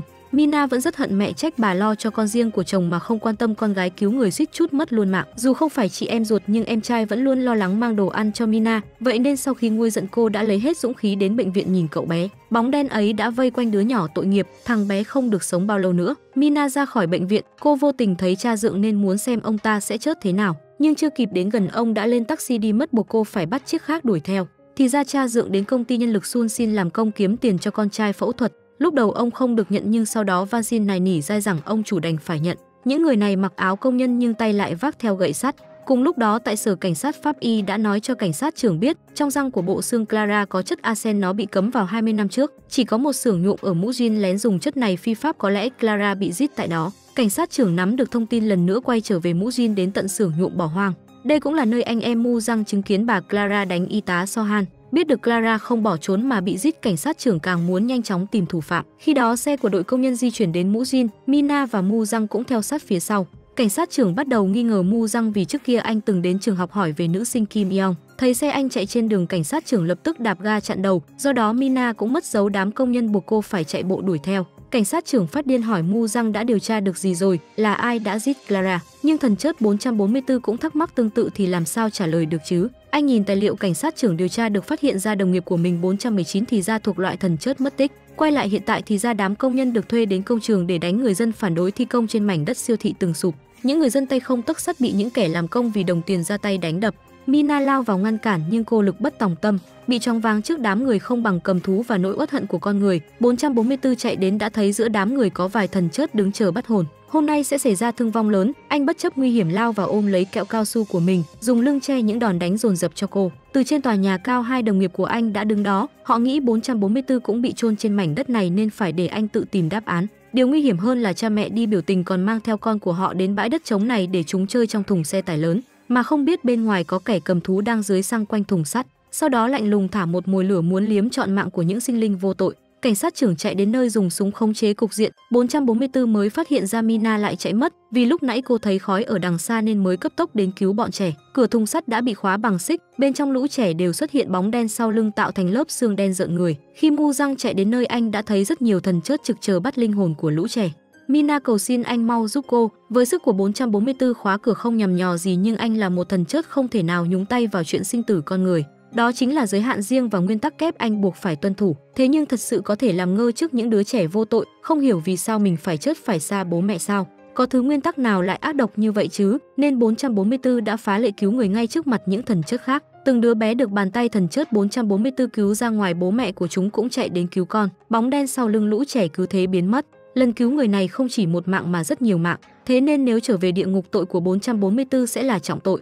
Mina muốn xông vào nhà kho xem còn đứa bé nào bị sót lại không, bố dượng và Mu Răng thấy cô cũng chạy vào theo. Mu Răng cứu được bé gái còn Mina cứu được bé trai nhưng cô không muốn ra ngoài vì bên trong còn hai sinh mạng nữa buộc Mu Răng phải ở lại cùng cô. Rất nhanh xe cứu hỏa đã chạy đến dập lửa, may mắn không ai bị nguy hiểm đến tính mạng. Thấy bố dượng cũng xả thân cứu những đứa trẻ Mina vô cùng bất ngờ. Trước giờ cô nghĩ ông chỉ lo cho thân mình, giờ mới hiểu ông ta cũng làm bố nên hiểu được nỗi lo cho con của bậc cha mẹ. Sau khi cứu người cha dượng vội chạy về ghép tủy cho con trai, còn Mu Răng đã lo sốt vó cho Mina, vì lo nên anh mới giận mà giận vẫn chu đáo lau mặt cho cô. Cơ mà dùng nước miếng lau vết bẩn trên mặt vậy rồi là sạch giữ chưa? Cô ấy nhìn anh chằm chằm khiến trái tim thần chớt lạnh lùng bắt đầu bối rối. Sứ giả địa ngục nghiêm khắc nhất cũng vì em mà phá vỡ luật cứu người. Tối rồi nhưng Mu Răng vẫn tình nguyện chở Mina đến bệnh viện xem tình hình em trai, bóng đen trên người cậu bé đã biến mất. Mẹ phát hiện ra con gái liền đuổi theo hỏi thăm con có bị thương không. Nghe giọng mẹ càng khiến Mina uất ức hơn. Vì lúc nhỏ bà từng ép cô uống thuốc tự vấn, cô hỏi mẹ nếu lo lắng cho mình thì tại sao khi đó có ý định cướp đi mạng của cô. Người mẹ khựng lại rồi liên tục nói vì bà ấy sợ, thì ra đôi mắt của con gái ruột khiến bà sợ hãi đến nỗi sẵn sàng lấy mẹ con. Nhưng ẩn sâu trong đôi mắt buồn của mẹ là cả một nỗi khổ tâm khó nói. Mặt khác chiếc đồng hồ mà cảnh sát trưởng gửi đi đã có đáp án về. Nó quả thực là chiếc đồng hồ quý giá do chính tay nghệ nhân Thụy Sĩ làm, như là bản thứ hai tức có hai chiếc đồng hồ bươm bướm tồn tại trên đời này. Tổ trưởng cũng chạy lại nói cho cảnh sát trưởng biết chủ thầu không phải hung thủ giết Sochin bởi vì ngày So Chin bị sát hại thì chủ thầu vẫn đang ở Philippines và bị bà Ly chụp lại cơ mà. Tức là kẻ đeo đồng hồ con bướm trong camera gặp So Chin là kẻ khác, cảnh sát trưởng lại tìm đến chồng của So Chin. Anh kể vợ mình có một người bạn bằng tuổi hình như là làm việc tại bệnh viện Hoàng gia. Nghe đến đây cảnh sát trưởng đột nhiên nhớ đến Sohan, vì số điện thoại cuối cùng Sochin gọi là cho Sohan, mà lúc tra khảo cô cũng lắp bắp nói chỉ là bệnh nhân bình thường. Thấy có điểm khả nghi, cảnh sát trưởng trở lại đồn điều tra thông tin về Sohan mới nhận ra cô bằng tuổi Sochin. Có được địa chỉ nhà của cô, ông lập tức đến gõ cửa. Tuy nhiên Sohan bị đe dọa không được gặp cảnh sát nên chỉ có thể ở yên trong nhà. Cảnh sát trưởng bất lực cũng chẳng có lệnh khám xét gia cư nên chỉ chạy sang nhà má mì. Dơ hình hiện tại của Sohan hỏi bà ta người phụ nữ này có giống cô bé Kim Yeong 20 năm trước không. Má mì nhìn hình cũng phải giật mình hoảng hốt, nhưng bà ta dường như đang sợ hãi một điều gì đó nên phủ nhận. Làm sao mà hai người này giống nhau được? Khi cảnh sát trưởng rời đi, má mì chậm rãi nhìn vào trong nhà, thì ra dòng Đắc đã ở đó từ bao giờ nên bà mới không dám nói.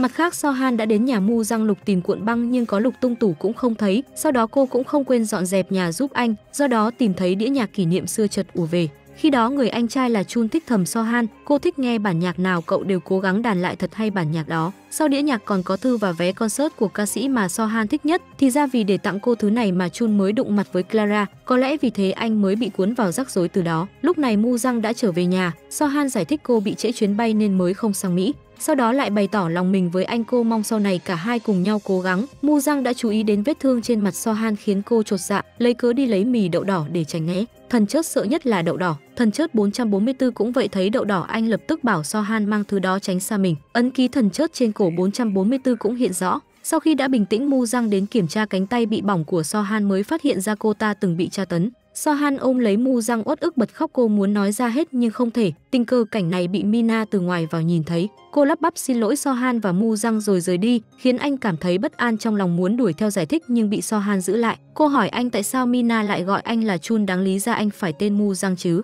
Mu Giang chột dạ nói dối rằng anh đang thực hiện nhiệm vụ bí mật và Mina nghĩ anh là Chun nên giờ phải giả vờ để không bị lộ. Sohan bối rối nói mình sẽ không tiết lộ chuyện này cho Mina sau đó rời đi. Chuyển cảnh đến bệnh viện trưởng khoa Trung bị thần chớt So Trung chiếm thể xác rất muốn giết chớt leo trả thù cho chính mình. Nhưng lần nào cũng tuột mất cơ hội. Hôm nay khi đạo diễn đến thăm Leo hai bên đã xảy ra xô sát, do đó So Trung thấy được bức thư uy hiếp mà Leo nhận được trước đó. Thì ra bức thư đó không phải do So Trung gửi, tức là ngoài hắn ra vẫn còn người muốn giết Leo. Sau khi được xuất viện Leo liền tìm đến quán ba giải sầu thì bị mỹ nhân đến chọc gạo. Cô ta là diễn viên dựa vào cơ thể để có được vai nữ chính nên Leo không ưa cho lắm. Khi trở về vì xe của cô, diễn viên quá giống với xe anh nên suýt thì Leo lên nhầm xe. Khi đó anh đã kịp thấy tài xế của cô, diễn viên tay có cuốn băng gạc. Ngày hôm sau Leo đã xuất hiện tại đồn cảnh sát không tội danh gì cả. Chỉ là sắp tới anh phải vào vai cảnh sát bắt cướp nên mới đến đây học tập cử chỉ thói quen hành động của cảnh sát để cho ra vai diễn đạt nhất. Leo là kẻ thù của thần chớt so chung người 444 đang muốn tìm nên anh tình nguyện trở thành người hướng dẫn cho Leo. Leo lại ghét cay ghét đắng mu răng vì lúc trước thấy anh ta sắp chết anh không hề cứu. Leo vào nhà vệ sinh tút tát lại nhân sắc lúc đi ra thì để quên điện thoại. Cảnh sát không biết điện thoại của Leo nên chỉ đành gọi vào số bất kỳ trong danh bạ. Nào ngờ người được gọi cũng đánh rơi điện thoại dưới bánh xe, nghe tiếng chuông phát ra một chàng trai gần đó đến bắt máy. Lúc anh ta nhìn vào trong xe cảnh tượng bên trong dọa anh sợ hãi. Rất nhanh cảnh sát đã bao vây hiện trường vì bên trong xe là xác của một người phụ nữ bị giết dã man. Leo cũng được Mu Răng dẫn đi cùng, không ngờ lần này anh ta có thể giúp ích, vì nạn nhân chính là cô diễn viên hôm qua anh mới gặp. Hôm qua mới gặp ở quán ba tài xế của cô ta hình như bị thương ở cánh tay nên băng gạc. Theo như mô tả của anh, cảnh sát đã phát thảo lại chân dung kẻ sát nhân. Mina cũng chạy đến đồn nhìn bức chân dung cô sững sờ tại chỗ, vì đây là lão Chu người đàn ông ở thang bộ được cô cảnh báo trước cái chết. Cô cứu ông ta một mạng để giờ ông ta đi giết người khiến Mina không khỏi tự trách, mà cũng chính lão Chu là kẻ gửi thư đe dọa cho Leo.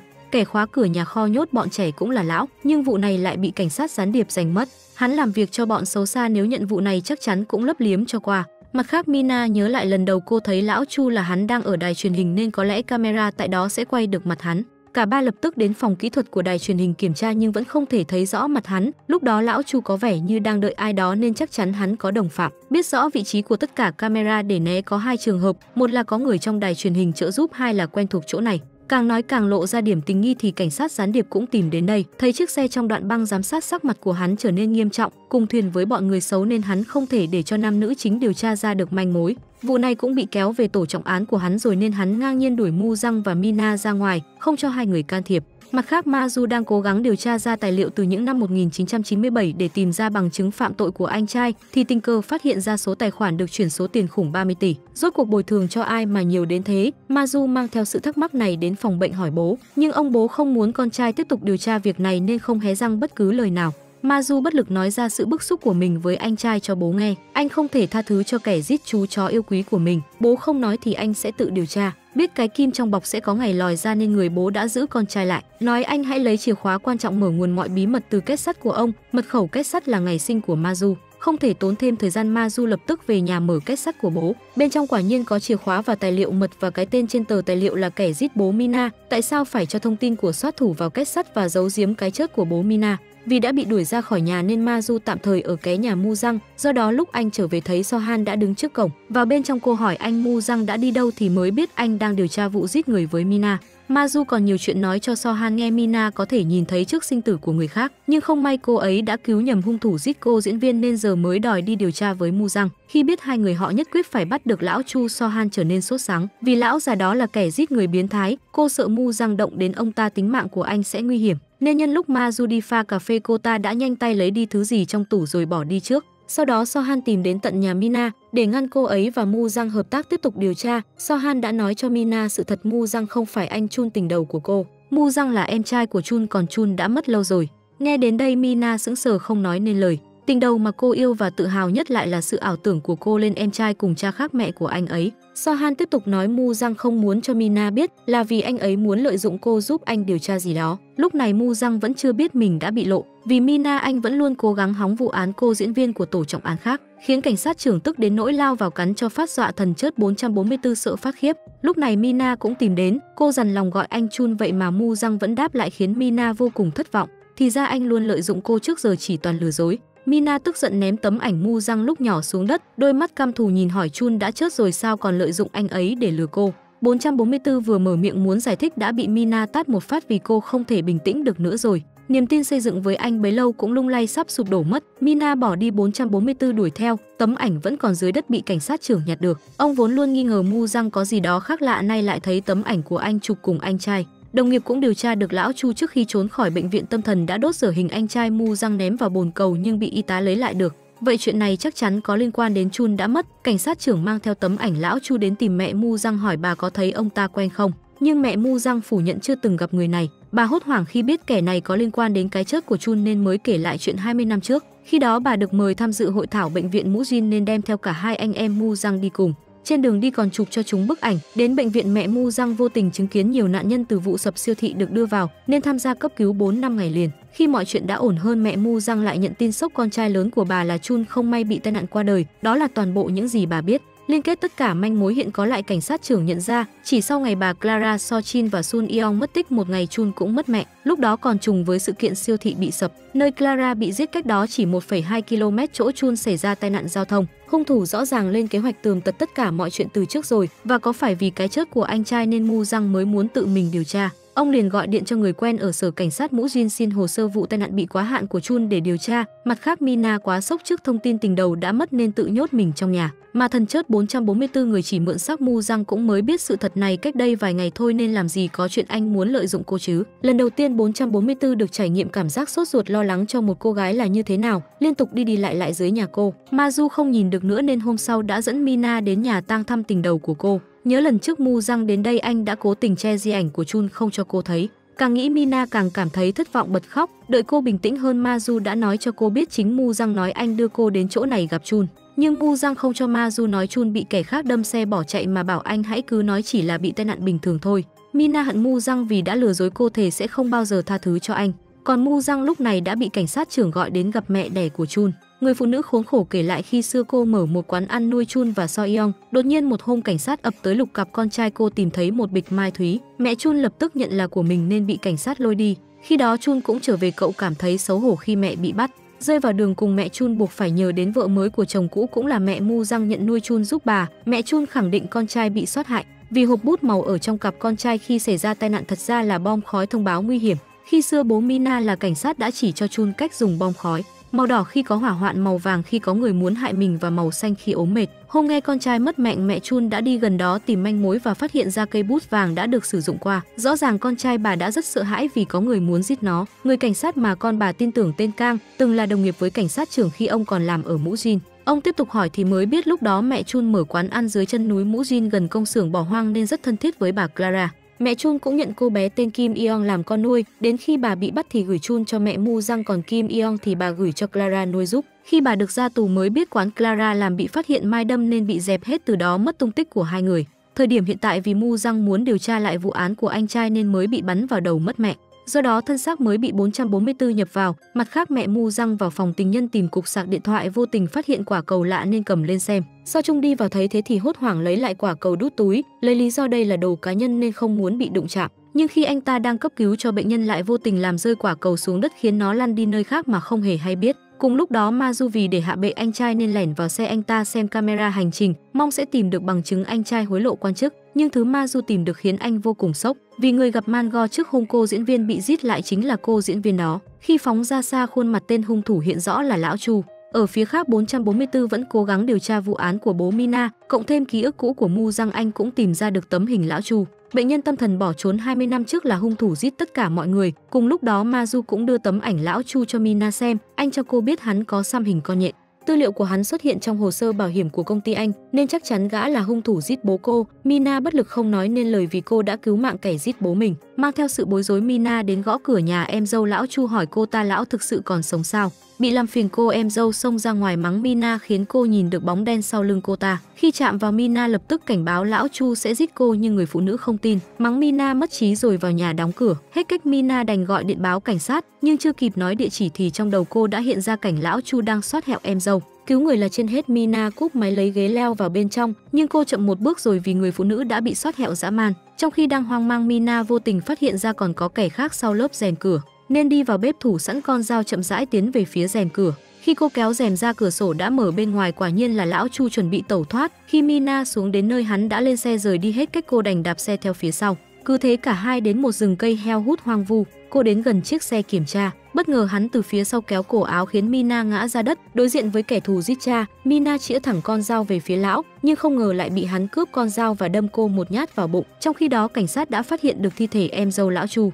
cũng tìm được kẻ giết người từ camera giám sát, đi theo sau hắn còn có một cô gái. Mu Răng lập tức nhận ra đó là Mina, một sự cảm bất an nổi lên trong lòng khiến anh vội chạy đi tìm cô. Và rồi phát hiện ra giày của cô gần cánh rừng già khâu trần trừ liền chạy vào trong rừng cây. Trong lúc anh choáng váng giữa suy nghĩ bản thân đang lo cho đôi mắt hay lo cho cô ấy thì thanh âm gần đó thu hút sự chú ý của anh. Khi đi đến gần đó là hiện trường vụ án được cảnh sát bao vây lại, Mu Răng bất an đi vào bên trong mới phát hiện ra điện thoại di động của Mina. Bên cạnh còn có vũng máu lớn nhưng không hề có thi thể. Dẫu có tràn ngập sự sợ hãi trong lòng cùng suy nghĩ kinh khủng, nhưng anh vẫn cố lừa bản thân lang thang trong rừng đến tận đêm khuya trời mưa lớn cũng không ngừng tìm kiếm. Thế nhưng cuộc gọi của pháp y đã triệt để dập tan hy vọng của Mu răng rằng vết máu ở hiện trường 99,99% ,99 là của Mina. Nghe được tin tức này trong lòng anh như gào thét phát điên, chạy về phòng pháp y đòi kiểm tra lại kết quả ADN. Nghĩ đến Mina phải chịu khổ trái tim Mu Giang đau quặn thắt đến nỗi không thể đứng vững, đồng nghiệp phải đưa anh vào bệnh viện, đúng lúc So Han cũng có mặt tại đây. Mu Giang tỉnh dậy vừa thấy mặt cô ta đã phát điên, túm lấy vai trách cô nói cho Mina biết sự thật mới hại chết cô ấy. Điều này khiến So Han vô cùng đau lòng.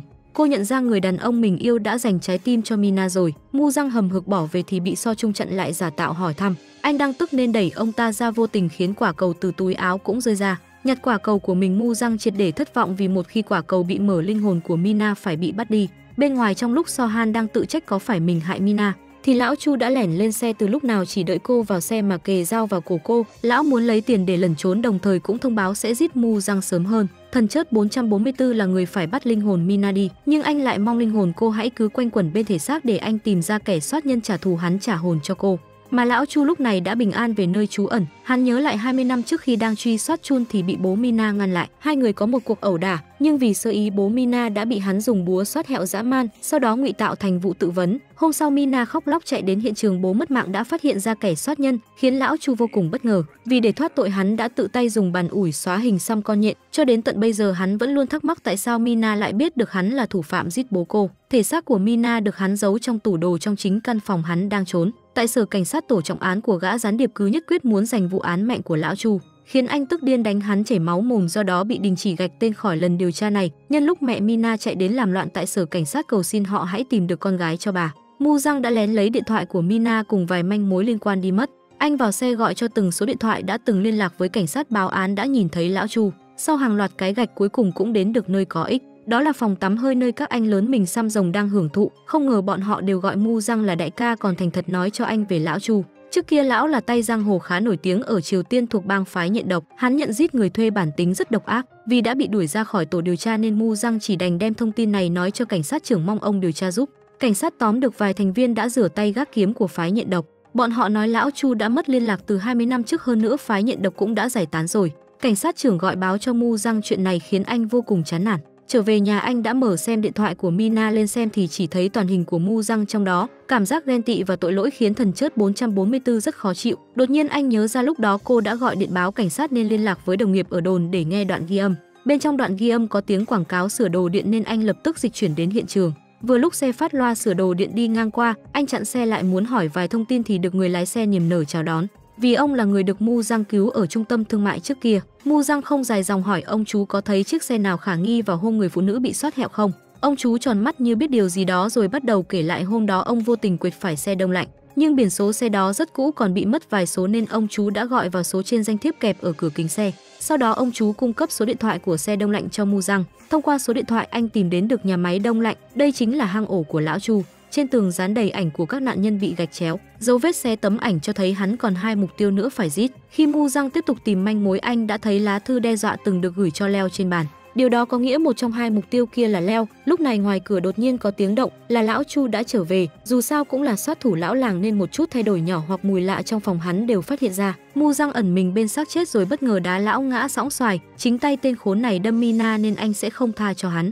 Lão dù sao cũng già rồi nên không phải đối thủ của thần chớt 444, sau một hồi vật lộn chống cự hết sức vẫn bị anh lôi hắn lên xe đi tìm thi thể Mina. Trên xe tên này còn làm nhảm được hắn đã nợ Mu Răng rất nhiều ân tình. Thì ra trước kia Mu Răng còn sống đã tìm ra hung thủ, anh đem bức ảnh của anh trai cho hắn nhớ lại đã từng giết người này hay chưa, khi đó kẻ soát nhân đang ở trong bệnh viện tâm thần. Mỗi ngày đều uống một lượng lớn thuốc nên cả người ngờ nghệch rơi vào trạng thái mất trí nhớ. Do đó Mu Răng cũng chẳng hỏi được thông tin nào có giá trị. Để có được câu trả lời trước khi rời đi anh đã dặn hắn không được uống thuốc mà y tá đưa cho. Sau vài ngày chỉ ngậm chứ không hề nuốt thuốc, lão Chu cuối cùng cũng tỉnh táo một con quỷ giết người đã quay trở lại. Đầu óc minh mẫn hơn hắn bắt đầu lên kế hoạch trốn thoát khỏi viện tâm thần. Nạn nhân xấu số mở đầu cho bàn tay chớt chóc của hắn là viện trưởng bệnh viện đã giam cầm hắn 20 năm. Sau đó lão Chu tiếp tục nói cho Mu Răng biết, 20 năm trước có người đã uy hiếp hắn phải tìm bà Clara lấy đoạn băng, nếu không sẽ nói ra việc hắn giết vợ lấy tiền bảo hiểm. Nếu lấy được đoạn băng lão Chu mới có số tiền bảo hiểm đó. Bà Clara liên tục nói Kim Yeong đang giữ đoạn băng bà ta không biết nó ở đâu hết. Nhưng lão Chu không tin nên tiễn bà lên bàn thờ ngắm gà khỏa thân. Vì không hoàn thành nhiệm vụ nên lão mới bị kẻ đứng sau tống vào viện tâm thần. Trong lúc đó hình như còn có sự xuất hiện của Chun tại hiện trường. Vì bị tống vào viện tâm thần nên lão ghi thù giết cô diễn viên tình nhân của kẻ đứng sau, giết em vợ người đã cấu kết nhốt hắn vào viện tâm thần. Hơn nữa Chun bố Mina và Mina đều bị kẻ đứng sau nhắm vào sai khiến lão Chu giết, vậy nên bây giờ lão cầu xin Mu Răng để cho lão giết kẻ đó trả thù. Càng nói tên điên này càng kích động hét lớn tên Mina khiến thần chớt 444 tức giận đấm cho hắn vài phát. Do đó chiếc xe chạy xiên vẹo mất khống chế đâm vào gốc cây, nhân lúc Mu Răng đang chóng mất khả năng phản kháng lão Chu đã đâm liên tục nhiều nhát vào người anh. Mặt khác bố Ma Du là ông Kim đột nhiên lại gọi điện cho cảnh sát trưởng nói có chuyện quan trọng muốn tiết lộ yêu cầu ông đến gặp, mà tại bệnh viện ông Kim nằm leo đang hóa trang để vào vai cảnh sát. Có vẻ anh ta rất được người của bệnh viện quan tâm vì có quan hệ mật thiết với ông Kim.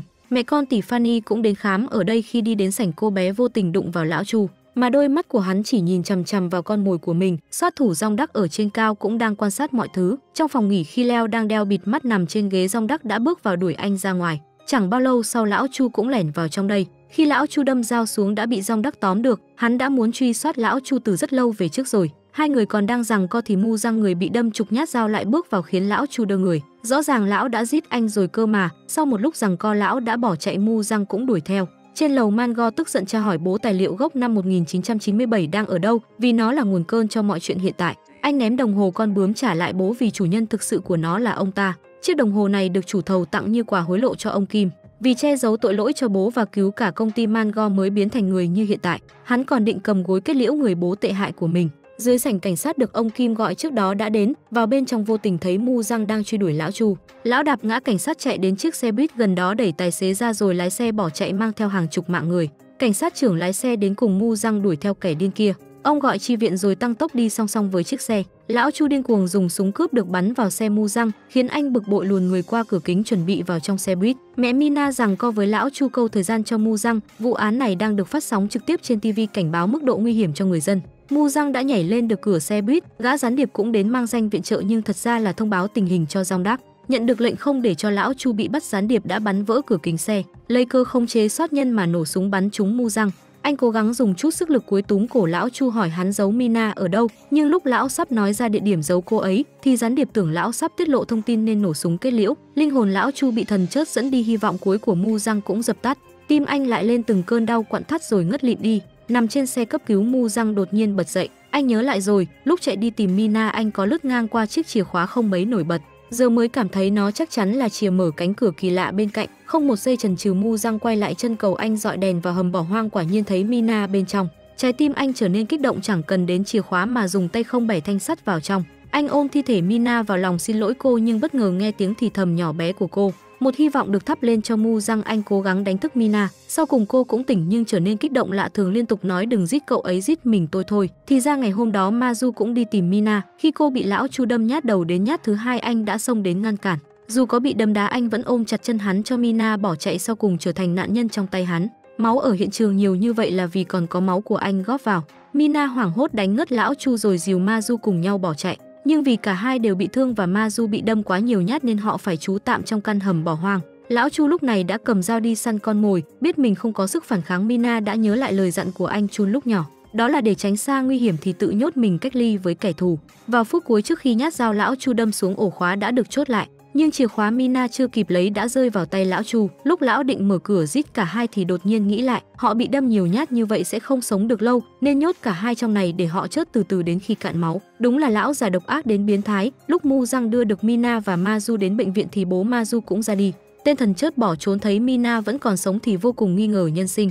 Mặt khác thấy tâm trạng Mina đang bất ổn 444 lại không biết cách an ủi cộng thêm Mina vẫn hận anh nên đành nhờ đến Sohan. Một lúc sau cô ấy đã nhẹ nhàng đặt đôi dép mềm cho Mina đeo. Sohan biết Mina đang cảm thấy rất dần vặt dây dứt vì Mazu cứu mình mới bị thương nặng nên đã kể cho cô nghe một câu chuyện. Lúc nhỏ có cậu bé rất thích tôi trong một lần vì chạy đến cứu tôi mới mất mẹ. Người được Sohan kể là Chun, thấy xác cậu cùng vũng máu bất động trên đường Sohan đau lòng hét lên, cô cảm thấy như chính mình mới là kẻ giết cậu ấy vậy thế nên cô mới muốn quên đi cái quá khứ dơ giấy đau lòng ấy. Nhưng giờ nghĩ lại cậu ấy mất mạng để mình được sống tốt mà mình lại hành hạ bản thân thì sao được chứ. Vậy nên Sohan mong Mina hãy để cho cô khử trùng vết thương. Như thế công sức của Mazu mới không bị bỏ phí. Nghe vậy Mina mới bình tĩnh đeo dép đi cùng Sohan. Sau khi được xử lý vết thương và ngủ một giấc, Mina vẫn không chịu nằm yên dưỡng sức, mà mang theo cơ thể yếu ớt đến chờ trước phòng cấp cứu của Mazu. Đến khi mẹ Mu Răng bước ra thông báo Mazu đã qua cơn nguy kịch, trái tim treo lơ lửng của Mina mới được hạ xuống. Đêm đó Mina đã ngồi cạnh giường bệnh Mazu đầy trầm tư. Lúc còn trong hầm bỏ hoang anh ấy đã dùng hết sức tỏ tình với cô. Thì ra anh ấy đã thích mình từ lâu như vậy rồi còn có thể hy sinh tính mạng vì mình khiến Mina rất khó xử. Chuyển cảnh cảnh sát trưởng đã tìm được hang ổ của lão Chu nhưng hắn không còn ở đây nữa. Tuy nhiên ông lại biết được mục tiêu tiếp theo của hắn là Leo nên trở về đồn hỏi cậu ấy có quen lão Chu không, có từng sống tại Mũ Di không nhưng Leo phủ nhận tất cả nói mình sống từ nhỏ bên Mỹ. Hơn nữa hôm đó lúc cậu đang ngủ thì có người muốn đổi phòng. Người này có chút khả nghi nhưng cũng chính là cứu cậu một mạng, trở về tiến hành tổng hợp thông tin đã điều tra được để xem rốt cuộc Leo và lão Chu có tư thủ cá nhân gì. Thì đồng nghiệp từ ngoài trở về đem theo tin vừa điều tra được Leo có đại gia là Mango chống lưng. Vì cách đây không lâu khi anh ta mới nổi mà đã được trở thành người đại diện quảng cáo cho tập đoàn Hoàng gia bất chấp sự phản đối của mọi người. Đang thảo luận thì cảnh sát trưởng nhận được điện thoại của mẹ Mu Răng. Ông đến bệnh viện và được bà đưa cho chiếc chìa khóa chủ tịch nắm chặt trong tay trước lúc mất. Chìa khóa này giống như của kết sắt nên bà nghĩ nó sẽ hỗ trợ cho điều tra. Lúc ra về, cảnh sát trưởng vô tình nghe được cuộc nói chuyện của Mina và Mu Răng nên đi theo họ. Hóa ra họ đến nhà xác cho Mina xác nhận kẻ giết bố cô đã chết. Cảnh sát trưởng rất nghi ngờ tại sao cô lại biết được hung thủ giết bố mình trong khi cảnh sát còn chưa điều tra ra. Năm xưa cũng là ông phụ trách vụ án đó, giờ mới biết cô là con gái của tiền bối xấu số của mình. Mina mang tin lão Chu đã chớt nói cho Ma Du để anh yên tâm, nhưng cô lại không thể mở miệng nói ra chuyện bố anh đã mất. Vài ngày sau cô vẫn ở cạnh chăm sóc từng chút cho Ma Du khiến anh rất hạnh phúc. Nhắc về chuyện tối ở cam hầm cả hai đều giả vờ mình không còn nhớ gì để đỡ ngượng ngùng. Cảnh hai người nói chuyện đều bị mu răng trên tầng thượng nhìn thấy. Một cảm giác vừa dây dứt khó chịu vừa bực bội ngột ngạc dày vào anh. Khi Mina về nhà tâm trạng của cô cũng chẳng khác mấy. Cả hai đã nảy sinh tình cảm với nhau nhưng bị ngăn cách bởi bức tường hiểu lầm và khó nói. Sohan lái xe đến đưa Mu Răng uống say về. Bà chủ quán gọi cô là Mina vì nghĩ cô là người bạn gái được Mu Răng nhắc đến khi anh say rượu khiến Sohan rất đau lòng. Anh tỉnh lại phất lờ sự giúp đỡ của cô mà đi một mạch về đồn cảnh sát ngủ say ở đó. Đến khi đồng nghiệp đến đánh thức anh mới tỉnh táo, thần chết 444 vô cảm lần đầu bị cảm xúc phức tạp của loài người làm cho rối ren. Đến khi cảnh sát trưởng nói anh đã yêu rồi 444 mới biết, thì ra còn tồn tại thứ cảm xúc gọi là tình yêu. Mina cũng nhận ra cô yêu 444 mất rồi. Lúc Ma Du lần nữa tỏ tình cô đã nhẹ nhàng từ chối anh. Khi anh hỏi cô thực sự yêu mối tình đầu hay yêu Mu Răng hiện tại, Mina cũng phải bối rối không xác định rõ cảm xúc. Trước giờ cô luôn đinh ninh mình yêu mối tình đầu, nhưng cảm xúc với Mu Răng rất khác và cô đã từng vui vẻ biết nhường nào khi ở cạnh anh. Mặt khác, cảnh sát trưởng đã biết được chìa khóa kia dùng để mở kết sắt ngân hàng VIP, nhưng chỉ có chủ sở hữu hoặc người thân có quan hệ pháp lý với ông ấy mới được mở nó. Cảnh sát trưởng lập tức chạy về phòng bệnh tìm Mazu, hỏi anh có biết ai đeo đồng hồ con bướm không? Nhớ lại trước kia Mina cũng nói người sẽ ra tay với bố anh có đeo đồng hồ con bướm khiến Mazu càng ấn tượng với nó. Cảnh sát trưởng lại đưa ra chìa khóa, Mazu nhìn liền nhận ra đây là thứ vài ngày trước bố sai anh về nhà lấy cho ông mà. Cảnh sát trưởng đành phải nói ra chuyện bố anh đã qua đời khiến Mazu suy sụp. Anh tức giận ra tìm Mina hỏi cô tại sao lại nói sau lưng bố anh không có bóng đen ông sẽ không chết cơ mà. Thì ra khi đó Mina nhìn nhầm bóng lưng của bố Mazu với cháu anh, cô cảm thấy dây dứt nên mới không biết mở lời nói thế nào. Hiện tại ngoài câu xin lỗi Mina cũng chẳng biết nói gì. Sau bao nhiêu ngày Mazu cũng được đến thắp nhang cho bố, anh đã bình tĩnh hơn vì đây không phải lỗi của Mina. Sau đó anh sử dụng thân phận của mình mở được ngăn tủ VIP của bố, tìm được cuộn băng bao kẻ săn đuổi. Đó là cuộn băng do một phóng viên quay lại cuộc phỏng vấn Sohan khi cô bị dụ dỗ bán diêm ở tuổi vị thành niên. Trong đoạn băng cô đã kể lại toàn bộ sự hổ thẹn và tội ác của những kẻ liên quan. Sau đó nhà báo về xem lại đoạn băng dự định công bố tội ác ghê tởm này lên truyền hình cho mọi người biết. Thì tin tức siêu thị bị sập buộc ông phải cùng đồng nghiệp đi lấy tư liệu. Vài ngày sau trở về văn phòng thì đoạn băng đã biến mất. Thêm nữa nhà báo cũng quen cục trưởng mà cảnh sát trưởng quen. Trước lúc mất, ông ấy đã để lại tin nhắn thoại nói cho nhà báo biết ông nghi ngờ Mango vì che giấu tội cho bố mới gây ra mọi chuyện xấu khác. Trong lúc cảnh sát đang bất lực trước thế lực của tập đoàn Hoàng gia, thì cậu út tập đoàn đã mang theo chiếc hộp có giấy tờ liên quan vào đồn cùng bức ảnh có đồng hồ con bướm. Giờ họ đã có đủ bằng chứng xin lệnh bắt khẩn cấp Mango rồi. Hôm sau là ngày nhậm chức chủ tịch của Mango chiếc ghế vốn thuộc về Mazu nhưng bị hắn cướp trắng trợn. Thì cảnh sát bước vào dơ ra lệnh bắt giữ mang Mango đi.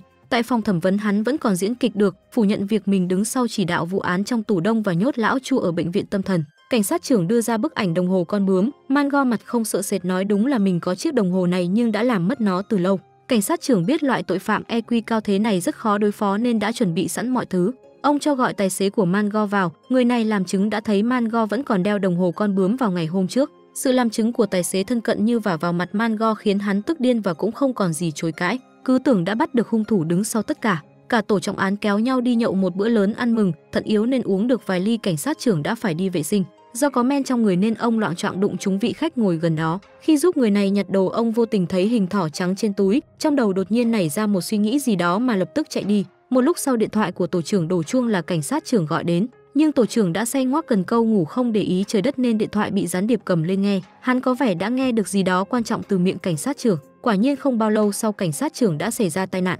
Kẻ đứng hả hê nhìn ông trên tay còn cầm đồng hồ hình con bướm. Mango đã bị bắt vậy tức là hung thủ thực sự vẫn còn đứng sau điều khiển tất cả. Chuyển cảnh Mazu đã gửi cho Mina xem đoạn video người dân quay lại được cảnh Mu răng bất chấp nguy hiểm.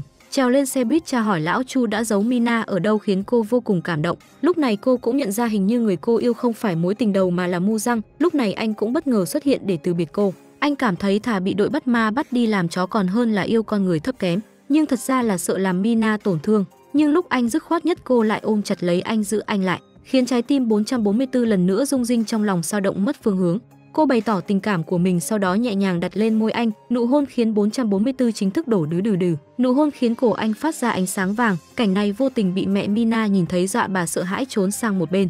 Kỳ lạ là tại sao bà lại nhìn được dấu ấn thần chớt của 444 được chứ? Có vẻ bà đã biết được điều gì đó liên quan đến số mệnh con gái mình. Sau nụ hôn ngọt ngào ấy cả hai ai về nhà nấy nhưng tâm trí cứ tràn ngập hình bóng đối phương. Thế là xong rồi ngã vào con đũy tình yêu mất rồi, thậm chí Mina còn lên sẵn lịch đi chơi hẹn hò cùng Mu Răng. Nhưng sóng gió chưa qua đi dễ dàng như vậy. Tin tức bố Mazu mua diêm với trẻ vị thành niên 20 năm trước, anh trai thì liên quan đến vụ án người phụ nữ tủ đông đã rầm rộ trên mạng, khiến Mazu vô cùng sốc. Anh tìm đến đồn cảnh sát gặp anh trai hỏi chuyện này rốt cuộc là sao. Mango cười khinh đổ tội cho Mazu đã đem bí mật của bố nói cho cảnh sát, còn đi tố cáo khiến anh trai bị giam điều tra. Chiếc đồng hồ là quà hối lộ chủ thầu tặng cho bố mà bố thì tặng lại cho Mango. Thế giới tinh thần của Mazu hoàn toàn sụp đổ, vì người bố một tín ngưỡng đẹp trong lòng anh lại là kẻ đồi bại độc ác đến đáng sợ.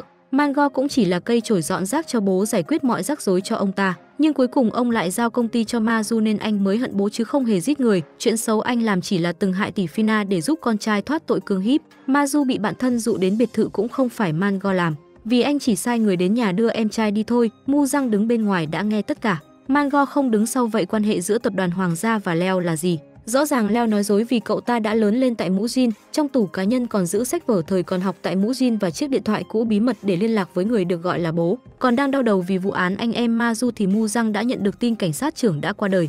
Tại lễ tang của ông Mu Răng bất giác nhớ lại khoảng thời gian vui vẻ khi tiếp xúc với cảnh sát trưởng. Ông là người đầu tiên dạy anh biết loài người càng cục xúc càng tốt bụng và chính nghĩa. Biết là sống chết có số nhưng sự ra đi của cảnh sát trưởng vẫn để lại một khoảng trống khó diễn tả trong lòng 444. Lúc đội trưởng xảy ra xô sát với thành viên của tổ khác, do người này dám nói cảnh sát trưởng lái xe trong lúc say xỉn thật đáng xấu hổ. Mu Giang đã ném tất cả những kẻ dám bu lại đánh đội trưởng ra, lần đầu tiên một thần chớt hoạt động độc lập đứng ra bảo vệ đội nhóm của mình. Anh đã gần giống với một con người sống có trách nhiệm với cộng đồng. Trong lúc bị sự buồn bã hành hạ anh chỉ biết đến tìm Mina, sau nụ hôn kia có lẽ hai người đã xác nhận mối quan hệ yêu đương. Dù 444 vẫn chưa rõ yêu là gì, sau khi nói chuyện với cô anh đã cảm thấy khá hơn, nhưng khi trở về thì bị mẹ cô chặn lại. Bà hét lên nói anh là thần chớt đuổi anh hãy tránh xa con gái mình ra khiến Mu Răng vô cùng bất ngờ. Anh bịt miệng bà kéo vào một góc nghi ngờ hỏi làm sao bà biết chuyện này. Thì ra năm xưa bà cũng nhìn ra cổ chồng mình có ấn ký thần chớt. Bà sẽ không để bi kịch của mình lặp lại trên người con gái nên yêu cầu 444 hãy tránh xa Mina, nhưng anh dứt khoát nói không. Mẹ Mina nói năm xưa bà cũng yêu say đắm chồng nhưng từ khi biết thân phận của ông thì cảm thấy sợ hãi ghê tởm. Nên bây giờ nếu 444 không chủ động rời xa Mina bà sẽ nói ra thân phận của anh, tình yêu không cứu rỗi được thứ gì đâu. Để được ở bên cạnh cô ấy anh đã đe dọa mẹ cô nếu dám tiết lộ anh sẽ lập tức rid Mina. 444 mang theo sự hoang mang về hỏi 007 thì mới biết bố Mina là 444 đời trước một kẻ còn máu lạnh vô tình hơn cả 444 hiện tại, nhưng vì phạm phải đại kỵ, hắn đã nhìn vào ánh mắt cô dâu đang yêu sâu đậm nhưng phải xin ly tử biệt chồng, nên 444 mới bị đày xuống nhân gian làm con người, do đó Mina là con gái của 444 đời trước nên mới có đôi mắt âm dương, nhưng cũng mang dòng máu con người nên không nhìn rõ mặt thần chớt mà chỉ thấy bóng đen. Mà điều đáng sợ là bố Mina sau khi thoát ra khỏi thân xác con người đã bị tan biến vì giết người để bảo vệ vợ. Nhưng khi vợ biết thân phận của ông ấy thì đã rời bỏ ông một cách vô tình. Thế nên 007 rất sợ khi 444 hiện tại rơi vào tình yêu với Mina. 444 mạnh miệng tuyên bố khi tìm được kẻ bỏ trốn anh sẽ rời đi làm sao anh yêu con người hèn mọn được chứ. Nhưng thật ra trong lòng anh đang rất hỗn độn, không phải sợ mình tan biến mà sợ Mina không chấp nhận mình. Để tự lừa mình anh phải đẩy nhanh tiến độ dẫn Mina đến trường quay nhìn bóng đen những người xung quanh Leo. Vì tên thần chớt so chung rất hận Leo mà. Nhưng Mina không muốn can thiệp vận mệnh người khác nữa cô đã quá mệt mỏi rồi. Mina bỏ đi trước, cô vào tiệm tai nghe nghe nhạc cho quên sự đời vậy mà Mu Răng vẫn tìm được cô. Đó là bài hát Chun thích nghe nên Mina đã mua đĩa băng đó đem đến bài vị của Chun, nói cho anh ấy biết giờ cô đã thích một người cũng bảo vệ cô như anh rồi, cảm ơn anh rất nhiều. Sau khi đưa Mina về nhà, đợi cô ngủ say Mu Răng lén dịch chuyển vào phòng cô. Anh thực sự sợ rồi rất sợ mất người con gái này. Anh nằm bên cạnh cô thầm ước mình được biến thành con người, một con người thực sự. Về nhà anh đã thử cây đàn Mina từng đem sang cho anh thì mới phát hiện bên trong có tờ giấy, nhưng chưa kịp đọc thì 007 đã về. Mu Răng hạ quyết tâm trước lúc tình cảm chưa sâu đậm phải rời xa Mina, nên yêu cầu 007 mai về địa ngục hãy gọi anh về cùng. Anh muốn tự thú để quay về làm thần chớt như trước kia. Anh không sợ bị biến thành chó chỉ sợ Mina sẽ phải khổ như mẹ cô khi phát hiện chồng mình là thần chớt. Ngày hôm sau Mu Răng đã đứng trước gương tập nói lời chia tay. Anh định dùng lý do sẽ quay về Mỹ phát triển bản thân để rời xa Mina thì phát hiện từ trước đến giờ bên tòa nhà đối diện luôn có ánh sáng chói chiếu vào mắt mình, để xem rốt cuộc đó là thứ gì anh đã dịch chuyển sang bên đó thì phát hiện ra kính viễn vọng. Trong kính hướng về phía nhà anh xem được mọi nhất cử nhất động của anh. Trên tường còn có ảnh của Mu Răng từ lúc còn yêu Sohan và băng ghi âm ghi lại mọi cuộc nói chuyện của anh. Thì ra từ trước đến giờ anh đều bị theo dõi và nghe lén. Lúc này chủ nhân của căn phòng cũng về, Mu Răng nấp bên cánh cửa mới biết hắn là soát thủ rong đác Anh và soát thủ lập tức lao vào rằng co mới phát hiện hắn bị khuyết đốt tay giữa. Hắn đấm Mu Răng một cái rồi bỏ chạy anh cũng đuổi theo sát nút. Cuộc rượt đuổi đang găng go thì Mu Răng lại lên cơn đau tim đôi mắt mờ đi chân không thể đứng vững, đó là triệu chứng anh sắp hòa một thể với cơ thể này rồi. Song song lúc này So Han cũng tìm ra danh tính trợ thủ cũng là bạn thân của Mu Răng. Cô đến tìm viện trưởng trại mồ côi mới được xem ảnh của người đó chụp cùng trẻ em tại đây. Lúc này bạn thân vẫn làm việc vật kiếm sống để chờ Mu Răng liên lạc với mình thì bị Dong Đắc tìm đến. Nhớ lúc Mu Răng đang hôn mê trong bệnh viện có kẻ muốn giết anh, chính bạn thân đã gọi điện đe dọa nếu Mu Răng mất mạng anh sẽ công khai đoạn băng. Thì ra đoạn băng cần tìm vẫn chưa được tìm ra. Sau một hồi lục soát không tìm ra bạn thân Dong Đắc đành thông báo cho kẻ đứng sau anh ta đã bỏ trốn. Mà So Han cũng đi tìm người này nên vô cùng thất vọng. Quay lại với Mu Răng sau khi tỉnh lại anh đã quay lại phòng Dong Đắc. Nhìn tấm ảnh trong góc mu răng đột nhiên nghĩ ra gì đó nên quay trở lại căn hầm của mình. Dán tất cả ảnh của những nạn nhân đã mất lên tường, cả hung thủ anh nghi ngờ đều đã bị bắt và chớt, vậy nên thân thế kẻ thực sự đứng sau rất đáng sợ. Nếu Mina biết kẻ đứng sau sai lão Chu giết bố cô vẫn còn nhởn nhơ chắc chắn sẽ đi tìm hắn, nên giờ Mu Răng cần phải tìm ra kẻ này trước, tránh cho cô ấy gặp nguy hiểm. Trước giờ luôn nghĩ mọi chuyện là do Man Go làm để che giấu tội lỗi cho bố mình nhưng giờ anh ta đang bị bắt điều tra và ông bố cũng bị thủ tiêu nên hai người họ không phải hung thủ. Chủ thầu có một chiếc đồng hồ bướm, bố Mazu cũng có một cái tặng lại cho con trai lớn Mango, vậy nên phải còn một chiếc đồng hồ bướm nữa. Hung thủ quay đi quẩn lại vẫn là kẻ sở hữu đồng hồ bướm bướm. Mu Răng trở về đồn xem lại đoạn băng ghi hình trước lúc cảnh sát trưởng mất ông ấy đã gọi vào số điện thoại nào đó. Anh nhanh chóng lấy giấy bút ra ghi lại, số điện thoại này là của đồng nghiệp trong đồn. Người này nói cảnh sát trưởng gọi nhờ chuyển tài liệu vụ án 20 năm trước chính là thùng tài liệu này. Mu Giang cầm lên xem thấy có con gấu nhỏ, anh đem thứ này đến phòng pháp y tìm dấu vân tay nhưng rất khó, cũng may dấu vân tay trên miếng gảy đàn thì có kết quả. Trong khi đó So Han cầm theo ống tiêm độc đứng trước bài vị của Chun muốn đi theo cậu vì cuộc sống này đã quá mệt mỏi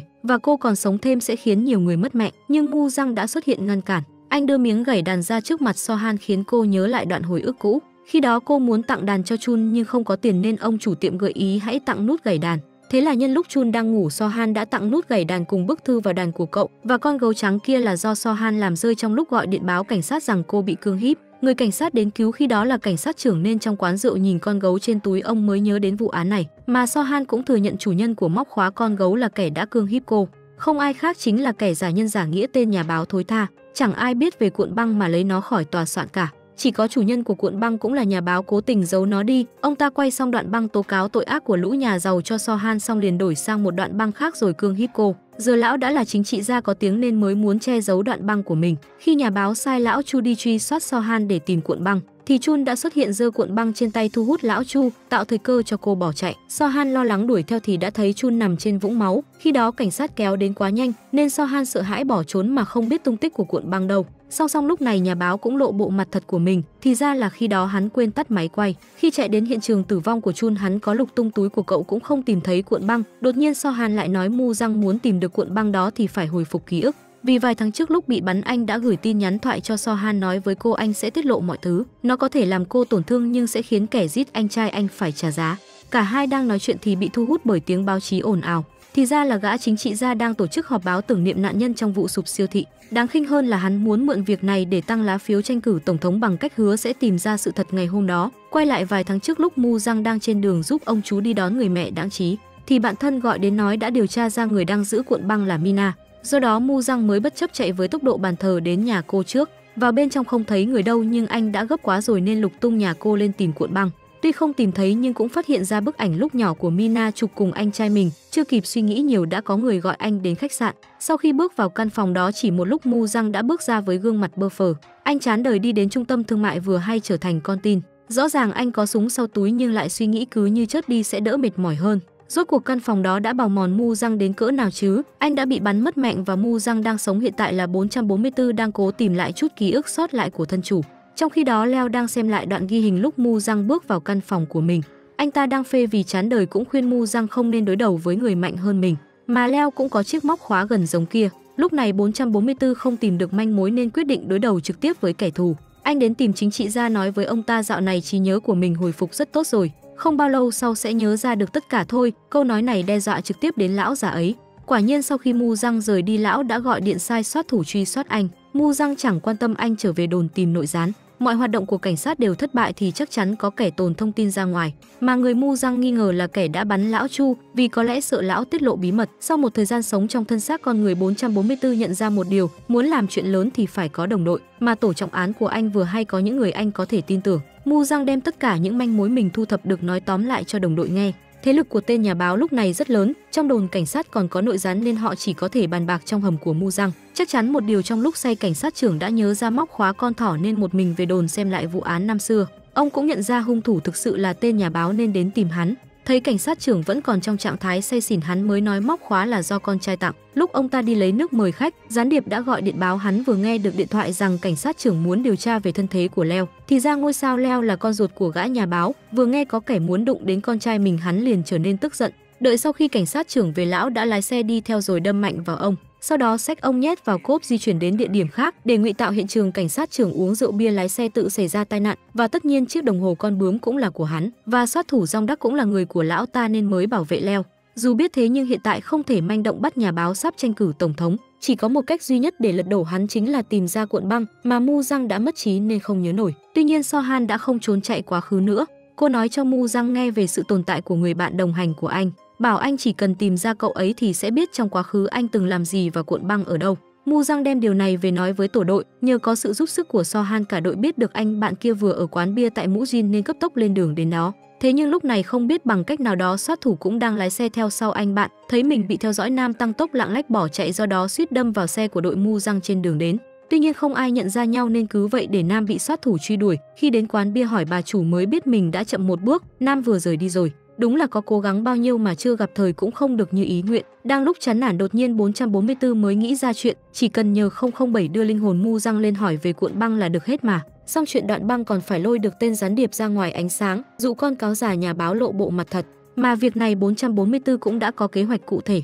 Chỉ thấy ngày hôm sau ở trên đồn mu răng không còn mặc vest mà chuyển về quần áo bình dị như trước kia. Đi nhẹ nói khẽ cười duyên gặp đội trưởng lễ phép cúi đầu chào cũng lịch sự cúi đầu với tên nội gián khiến hắn lo lắng nghĩ anh đã lấy lại được trí nhớ. Quả nhiên không lâu sau hắn đã mắc bẫy trốn vào một góc gọi điện thông báo việc này cho nhà báo. Trên hành lang vắng mu răng giả vờ gọi điện cho bạn thân cố ý nói to mình đã nhớ lại mọi chuyện, mục đích là để cho tên soát thủ đang đứng trong góc nghe. Hắn chậm rãi theo sát sau mu răng. Khi thấy anh lấy cuộn băng ra hắn đã có thể chắc chắn thông báo cho nhà báo thông tin là thật. Không thể để việc xấu của mình bị bại lộ gã nhà báo đã cho gián điệp đến bắt So Han làm con tin. Sau đó gọi điện cho Mu Răng dùng cô để đe dọa anh, không được công khai đoạn băng và phải đến gặp ông ta ngay. Hết cách Mu Răng đành thuận nước đẩy thuyền quay xe về nhà. Xuống tầng hầm gián điệp nhanh tay lấy súng của anh rồi kéo So Han ra ngoài. Bên trong chỉ còn lại nhà báo và Mu Răng. Lão già để chắc chắn đoạn băng là thật đã bắt Mu Răng cho phát nó. Thấy được nội dung bên trong lão mới an tâm kể lại chuyện năm xưa. Khi đó bà Clara cũng biết về đoạn băng nên nhà báo mới tìm đến lão Chu, lấy chuyện ông ta giết vợ chiếm tiền bảo hiểm để điều khiển mượn tay lão Chu giết người.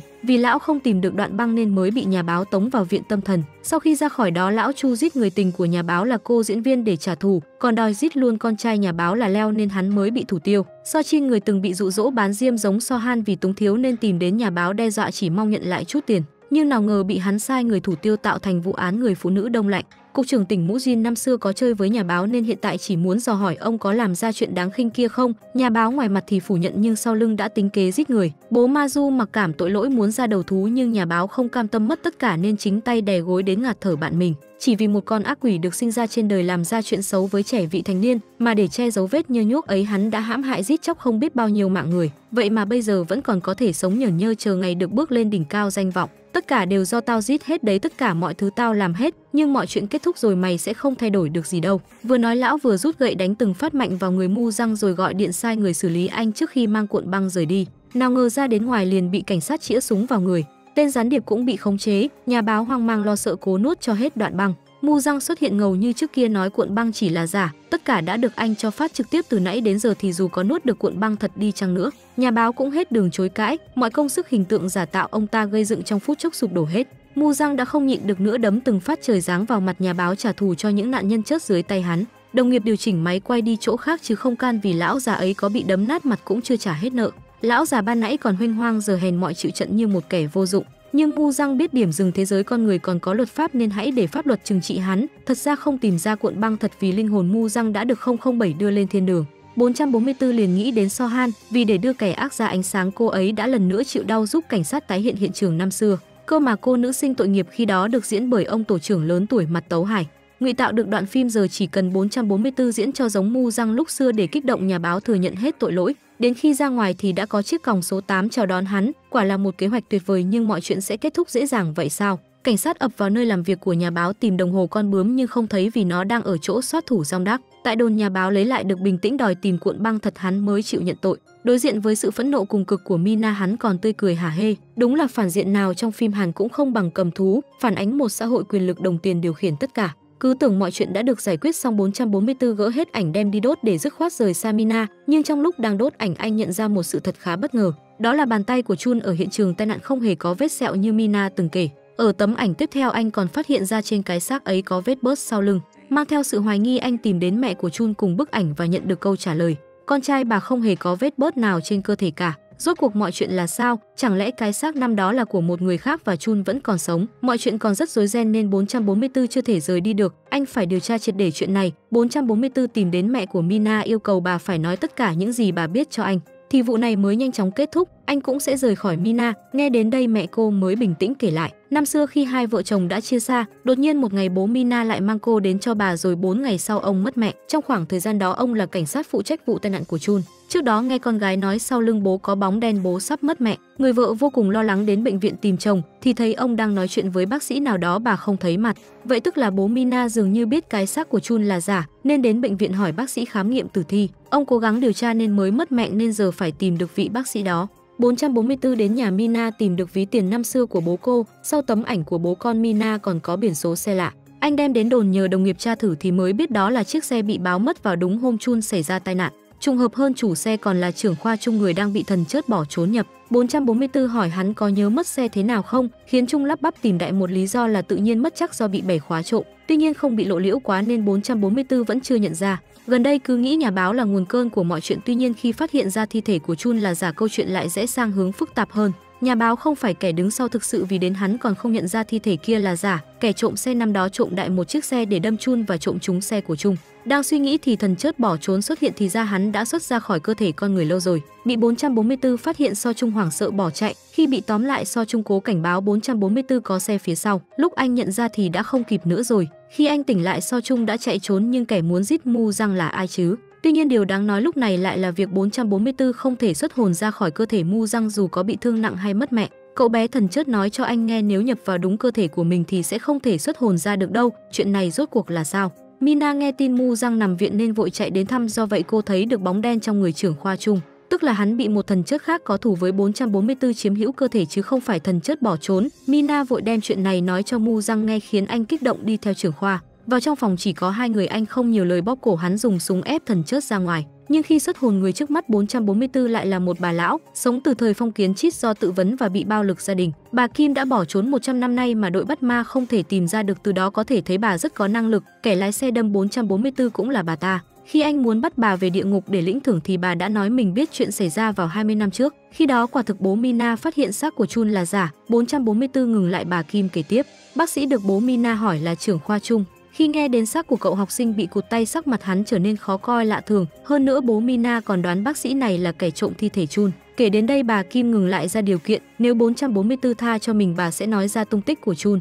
Vì Mina 444 quyết định phá luật của địa giới tìm ra tình đầu cho cô, mọi bằng chứng nằm ở máy tính trong phòng mu răng tại nhà mẹ anh, nên 444 dịch chuyển về đó tìm. Không biết đã xem được thứ gì anh buộc phải đến bệnh viện Mũ Jin tìm thêm manh mối. Khi anh lái xe đến đó đã là nửa đêm và bệnh viện cũng bị bỏ hoang lâu năm rồi. Rõ ràng lần đầu đến đây nhưng 444 lại có thể hồi tưởng lại chuyện xảy ra khi đó. Cơ thể Chun đang nằm trên bàn phẫu thuật, vừa thấy cậu bé này trái tim 444 đột nhiên trở nên đau thắt, không kiềm chế được nôn mửa như bị sốc, anh dường như đã nhớ ra gì đó bất giác đi về vực thẳm rồi gieo mình xuống dưới. Dưới lòng sông có chiếc ô tô cũ rích bên trong là bộ xương người khiến 444 kích động nội tâm gào thét, đây chính là ta sao? Chuyện quay lại 20 năm trước Mu Răng là con của vợ hai sống trong sung sướng nhưng bị bệnh tim. Đột nhiên một ngày mẹ anh mang đến anh lớn Chun là đứa con ngoài dã thú của bố, trùng hợp hơn cả Chun và Mu Răng đều thuộc nhóm máu hiếm thích hợp ghép tim cho nhau. Khi mẹ Mu Răng đưa hai anh em từ Seoul về lại Mũ Jin để cùng cứu những người bị nạn trong vụ sập siêu thị, Chun đã nhân cơ hội đó đến tìm người bạn lúc xưa anh thích, nhưng không thấy cô bé ở nhà nên quyết định mở máy quay lại lời chúc mừng sinh nhật Sohan. Tối đó anh đến tìm đàn em của bà Clara hỏi về Sohan thì mới biết cô đang bị Clara hành hạ nên vội chạy đến đó. Mu Răng ngồi bên gốc cây chờ anh trai đã lâu vừa thấy anh cũng chạy vội theo. Cả hai đến công xưởng bỏ hoang thấy Sohan bị đánh chun chạy vào ngăn, bà Clara đang mất khống chế quay sang chút giận lên anh thì bất ngờ bị Mu Răng vung sảnh đánh ngất. Vì còn quá nhỏ nên Mu Răng sợ hãi bỏ chạy, chun liền đuổi theo em trai. Sohan cũng nhân cơ hội đó tẩu thoát hiện trường chỉ còn Clara. Không biết bà ta còn sống hay chết nên Chu nói em trai chạy trước còn anh quay lại kiểm tra thì bắt gặp lão Chu tìm đến hỏi Clara về cuộn băng. Sohan cùng Sochin cũng lén lút quanh quẩn bên ngoài. Sohan và Chun chạm mặt nhau, lão Chu giết Clara xong đã phát hiện ra Sohan nên truy soát cô. Vì để cứu So Han Chun đã dơ ra cuộn băng dụ lão Chu đuổi theo. Cậu trốn vào nhà kho cùng em trai nhưng vẫn bị lão phát hiện. Mu răng lần nữa vì anh trai mà vung tay đánh người. Chun cho em trai chạy trước còn anh chạy theo hướng khác dẫn dụ lão Chu, trên đường đi bị vấp ngã đột nhiên nhớ lại lời dặn của bố Mina nên lấy bút vàng ra làm tín hiệu nguy hiểm cầu cứu. Ông ấy vốn là thần chớt lên có linh cảm mạnh, vào lúc Chun sắp bị lão Chu lấy mạnh, ông đã xuất hiện ngăn hắn lại. Hai người lao vào rằng co lão Chu bỏ chạy, còn bố Mina lo cho Chun nên ở lại. Không ngờ có đạn bắn ra từ phía nào đó sượt qua đầu Chun.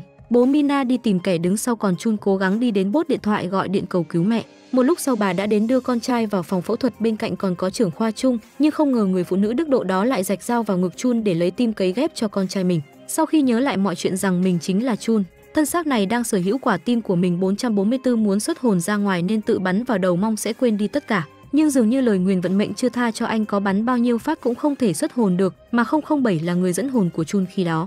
Cả hai tận mắt chứng kiến người mẹ Chun tôn trọng đẩy ô tô chứa cái xác không tim của anh xuống lòng sông sâu lạnh lẽo. Từ đó Chun trở thành thần chớt 444, thần chớt mất tích, phải đợi đến khi con người nhân thế tìm được xác anh mới trở về hình dáng ban đầu và được lên thiên đàng. Mu Răng chịu cú sốc tâm lý lao về nhà hỏi mẹ tại sao lại giết anh Chun chứ.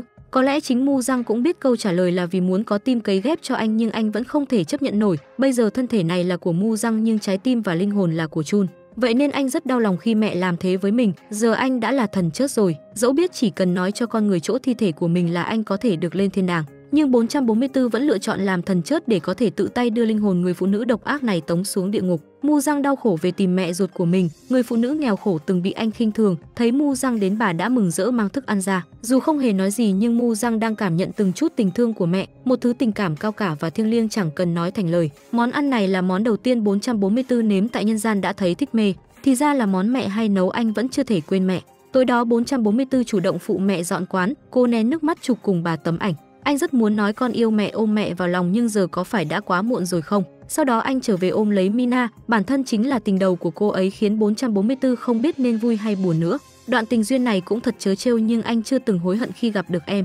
Đoạn băng trong máy mà 444 xem được là hôm trong khách sạn, Leo đang phê nên nói ra chuyện bố mình không giết Chun. Hôm đó cậu đi học về muộn nên thấy được cảnh Chun máu me be bét được mẹ đưa đi. Mu Giang khi đó biết được sự thật đó nên mới chán sống cứ thế để cho sát thủ bắn chết. Giờ câu hỏi đặt ra là ai đã nổ súng vào đầu Chun trong quá khứ, khi đó nhà báo lái xe đến hiện trường nên có lẽ chính là hắn. Lúc này Mu Giang nhận được điện thoại của đồng nghiệp báo, vì không có bằng chứng cụ thể cộng thêm thế lực lớn của nhà báo, nên mọi tội danh của hắn đều bị hủy, vì viện kiểm sát cho rằng hắn bị kích động nên mới nói sai sự thật. Trong tù Mango biết nhà báo được thả thì bí mật nói luật sư sai người trừ khử, và Mu Giang cũng đang trên đường đi tìm cuộn băng thật để đối phó với nhà báo. Có lẽ khi đó thứ trong máy quay chun xem được là đoạn băng cương híp Sohan. Vì ký ức của anh đang đan xen giữa chun và Mu Răng nên nhớ không thể chính xác 444 lần theo trí nhớ đến từng địa điểm khi xưa, mà Mina cũng đang theo định vị trên điện thoại tìm anh. Đứng trước nhà kho này cô cảm thấy rất quen thuộc. Vào bên trong Mina đã kể cho 444 nghe năm xưa cô đã thấy được bóng đen bám theo bố. Tối đó vì muốn cứu bố mà cô đã chạy theo ông đến nhà kho.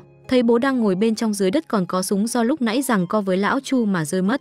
Mina đã cầm súng lên bắn vào bóng đen của bố, nào có biết cái bóng đen bên cạnh bố cô chính là Chun. 444 nghe xong câu chuyện không thể ngờ tới, đầu anh lại lên cơn đau nhói. Chẳng lẽ mọi bi kịch đều bắt nguồn từ một người vô tội có năng lực đặc biệt, là con gái của thần chớt và loài người sao? Khi đó bố Mina thấy con gái ngất dưới đất trên tay còn cầm khẩu súng của mình thì đã biết người bắn Chun là con bé. Chun cũng ôm đầu chạy đi cầu cứu mẹ nên bố Mina mới không cứu người kịp thời. Đó là lý do khi 444 nhập vào mu răng mà chạm mặt Mina thì đầu anh sẽ lại lên cơn đau năm xưa. Khi đó cô bé ấy yêu anh bây giờ anh yêu cô, nhưng tình yêu này lại là bi kịch do chính tay cô lấy mạnh anh. Người đau lòng nên là ai đây? Nếu cứ tiếp tục dây dưa với Mina đến khi cô ấy biết sự thật liệu có chịu nổi không, nên 444 quyết định phải dứt khoát cắt đứt. Càng biết nhiều càng đau khổ anh cũng chẳng biết giải thích sao cho cô hiểu về thân phận của mình. Điều này vô tình làm Mina tổn thương. Cô tự trách bản thân có đôi mắt kỳ lạ, nghĩ anh ghét cô là quái vật giống như việc mẹ cũng ghét cô vậy.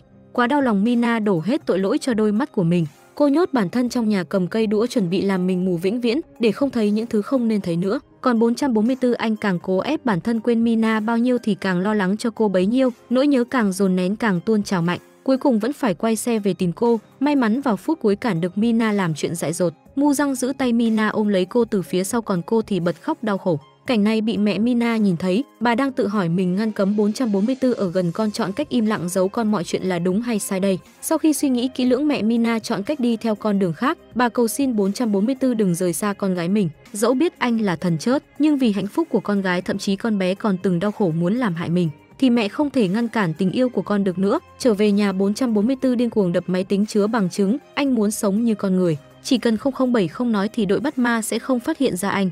Mina không biết sự thật mọi chuyện sẽ yên ổn cả thôi.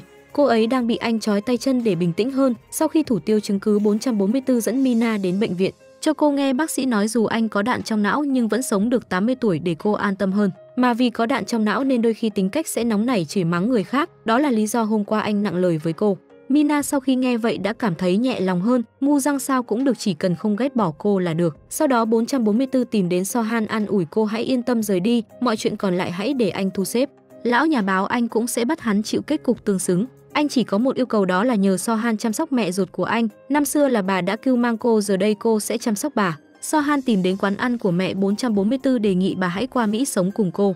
Cô đã tìm được công việc bác sĩ bên đó nên có lẽ sẽ rất bận mà không ai chăm sóc cả. Nên cô mong bà hãy xem cô như con gái để hai người nương tựa vào nhau. 444 không thể chăm sóc mẹ nên anh chỉ mong thế thôi. Làm xong tất cả mọi chuyện anh đến tìm Leo chĩa súng vào đầu cậu ta. Leo hoảng hốt nói mọi việc là bố làm còn anh vô tội. Nhưng 444 không quan tâm điều đó vì anh biết So Trung đang nhập trong người Leo. Súng đã lên nòng 444 đến đến hai So Trung đã sợ hãi xuất hồn ra khỏi cơ thể Leo. Lý do anh biết là vì khi đó máy tính chưa tắt, quay lại được cảnh Leo sắp chết mới bị So Chun nhân cơ hội đó chiếm xác. So Trung kể lại khi đó quả cầu hiển thị người anh cần dẫn hồn là Leo mà anh cũng tình cờ thấy được Mu Răng đang lôi xác Leo vào phòng tắm. Leo là kẻ có thù với So Trung nên anh mới nhân cơ hội đó nhập vào xác Leo muốn sống lại lần nữa. Lý do trưởng khoa Trung muốn giết Leo là vì anh đã phát hiện bà Kim Chú trong thân xác đó. Hiện tại bà ta đã bị 444 xử lý nên thân thể trưởng khoa Trung cũng chỉ là xác không hồn.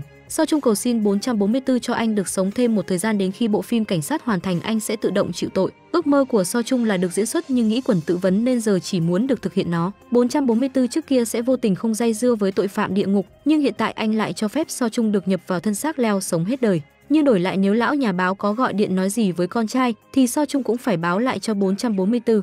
Tối đó lão đã hẹn con trai ra gặp mặt Leo giữ lời hứa gọi điện cho 444 nhưng không ai nghe máy. Để xử lý tất cả chuyện này và xây dựng tương lai mới, 444 nói dối Mina rằng mình phải sang Mỹ xử lý viên đạn trong não. Ngày hôm sau ở sân bay hai người ôm nhau nói lời tạm biệt. Đợi cô ấy trở về 444 mới mang súng đi giết lão nhà báo. Nhưng khi anh đến nơi đã thấy lão ngỏm từ lúc nào không hay. Cùng lúc đó So Han chuẩn bị bay sang Mỹ thì phát hiện ra thẻ nhớ trong tay áo của Mu Răng tặng cô. Biết có chuyện chẳng lành cô rời lại lịch bay đi tìm anh trước. Trên xe So Han cắm thẻ nhớ vào điện thoại liên kết được với số của Nam. Cô nói cách để bắt được nhà báo chỉ có cuộn băng nên mong Nam hãy tin tưởng mình đừng trốn tránh nữa. Nam nghe xong cũng đồng ý gặp mặt. Anh nói cuộn băng không ở chỗ mình mà Mina đang giữ. Vừa dứt câu đã có lưỡi dao sắt kề cổ So Han, chính là Dòng Đắc. Mà Mina sau cái hẹn 20 năm đã đến ngọn núi Mũ Jin để đào chiếc hộp thời gian của cô và chun lên, bên trong có cuộn băng gây ra bao sóng gió cội nguồn của mọi tội ác. Nhìn cuộn băng cô nhớ lại khi đó biết chun trở về nên đến tìm anh thì thấy anh đang quay video chúc mừng sinh nhật Sohan. Vì ghen tức Mina đã lén lấy đi cuộn băng không cho Sohan xem, nào biết bên trong có phần tội ác. Mina muốn xem lại hình ảnh Chun lúc nhỏ nên về nhà mở băng lên mới phát hiện ra cảnh cưỡng hiếp kia, có tận hai cuộn băng lận. Lúc này Leo cũng chạy đến nói cho 444 biết, năm xưa Leo có đưa cuộn băng nào đó cho Chun, khi đó hai người học chung trường tan học, Leo vô ý tông chúng Chun nên dẫn anh về nhà xử lý vết thương. Nhìn ảnh gia đình Leo Chun khen bố Leo thật ngầu khiến Leo phát hờn nói cậu ghét bố. Thấy nhà Leo có đầu phát video nên Chun muốn xem video anh quay chúc mừng sinh nhật So Han có ổn không. Nhưng khi mở cặp không thấy cuộn băng đâu nên Leo tiện tay cho Chun mượn băng của bố quay lại đoạn video mới. Lúc Leo đi lấy thuốc, Chun đã mở đoạn băng xem nó phát ra sao thì thấy cảnh So Han bị cưỡng hiếp. Không thể để chuyện này bị lộ Chun đã lấy video chạy mất. Chun nghĩ chỗ an toàn nhất để giấu cuộn băng tạm thời là hộp thời gian anh chôn cùng Mina. Khi 444 nhớ lại mọi chuyện thì hộp thời gian đã bị cô ấy đem đi mất. Chính vì giữ cuộn băng nên tính mạng Mina mới gặp nguy hiểm. Dong Đắc đã tìm đến cô. Mina biết kẻ này là người xấu nên ôm hộp thời gian bỏ chạy, nhưng Dong Đắc vẫn tóm được cô. Lúc hắn định ra tay thì cảnh sát đã ập đến chĩa súng không chế hắn. Tưởng mọi chuyện đã kết thúc thì đàn em của hắn chạy đến đánh cảnh sát cho Rong Đắc tiếp tục truy soát Mina. Kẻ thực sự đứng sau mọi chuyện lúc này mới lộ diện, bố Mazu nhà báo và chủ thầu chẳng qua cũng chỉ là cấp dưới của hắn. Khi đó hắn là thị trưởng thành phố Mũ Jin nhưng cái nết chó tha đi giao du với trẻ vị thành niên. Khi này cảnh sát và Mina đều bị bọn chúng bắt giữ đánh đập. Dòng đắc sai đàn em đánh ba vị cảnh sát để Mina khai ra đoạn băng của thị trưởng và nhà báo. Bóng đen đã xuất hiện sau lưng ba người cảnh sát, nếu không nói nhanh họ sẽ mất mẹ. Đội trưởng thà chết cũng không cho Mina tiết lộ, buộc Dòng đắc phải cho xả nước ngập chỗ cô đang ngồi rồi dùng dây điện đe dọa cô. Cô không nói hắn thật sự thả dây thật, nhưng vào phút cuối cầu giao điện đã bị ngắt, 444 đến kịp lúc, anh đưa Mina ra khỏi hồ bơi rồi đánh nhau với lũ giang hồ. Sau đó ném rong đắc xuống hồ thả dây điện cho hắn cảm nhận kết cục chít đau đớn. Xử lý xong tên khốn này anh tìm đến thị trường chĩa súng vào đầu hắn. Không để cho lão già được than thở năn nỉ anh đã thẳng tay nổ súng kết liễu một con ác quỷ cho thế gian. Hình phạt cao nhất của thần chớt là giết người. 444 cũng hiểu rõ điều này, nhưng để cho Mina có tương lai an toàn không đau khổ anh chấp nhận mọi hình phạt cũng dằn lòng rời xa cô nhảy xuống dòng sông sâu mãi ngâm mình dưới đó. Vì 444 lấy cớ sang Mỹ phẫu thuật nên Mina không biết người đàn ông ấy vì yêu đã hy sinh cho cô nhiều nhường nào. Cô vẫn nhận được danh thiếp của anh kèm bức ảnh thông báo phẫu thuật thành công. Thế nhưng mẹ Mu Răng vì bị dần vật tội lỗi nên viết di thư nói ra toàn bộ sự việc rồi uống thuốc độc tự vấn. Cảnh sát đọc di thư mới biết được Chun bị bắn ở xưởng thủy tinh, mà Mina đến đồn cũng vô tình nghe được điều này. Cô hoang mang không biết năm xưa cô bắn bóng đen của bố hay bắn trúng Chun nữa, sự sợ hãi hối hận khiến Mina choáng váng. Cô càng tuyệt vọng hơn khi xem được băng giám sát trên biển cảnh 444 nhảy xuống núi tự vấn. Dưới địa giới 444 vì giết người nên phải chịu hình phạt tiêu tan. Anh đã sẵn sàng chịu phạt nhưng khi nghe tin Mina đã biết mọi sự thật anh không thể an tâm nổi. Nhớ lại bà Kim từng nói hình phạt cao nhất mà thần chớt phải chịu là vô danh chứ không phải tan biến, tức là sẽ không ai nhớ về sự tồn tại của một thần chớt hùng mạnh 444. Vì để Mina Volovo nghĩ 444 đã chấp nhận chuyển sang hình phạt cô độc đó. Sự hy sinh của anh đã đổi lại cuộc đời hoàn toàn mới cho Mina, bố mẹ cô vẫn còn sống cô được trải qua một cuộc đời bình yên như bao đứa trẻ khác. Lớn lên trở thành lính cứu hỏa giúp ích cho đời, Mina vẫn tốt bụng như thế chỉ là cuộc đời mới này đã yêu ái cho cô hơn. Thần Chớt là bộ phim kịch tính đầy bí ẩn được xây dựng dựa trên góc nhìn của thần Chớt đối với thế giới loài người. Khi đã sống như một con người rồi anh mới cảm thấy cái chớt như một cơn bão. Ta biết nó sẽ đến nhưng rất khó dự đoán khi nào chính xác và không có ngôn từ nào để miêu tả trọn vẹn cảm giác khi trực tiếp đối mặt với nó nhưng suy cho cùng kết thúc cũng chính là bắt đầu. Thế nên dù có thế nào thì yêu thương mới là thứ tồn tại vĩnh viễn. Bộ phim đến đây cũng kết thúc rồi. Cảm ơn mọi người đã yêu thương và ủng hộ chúng mình trong suốt thời gian qua. Xin chào và hẹn gặp lại ở những siêu phẩm tiếp theo.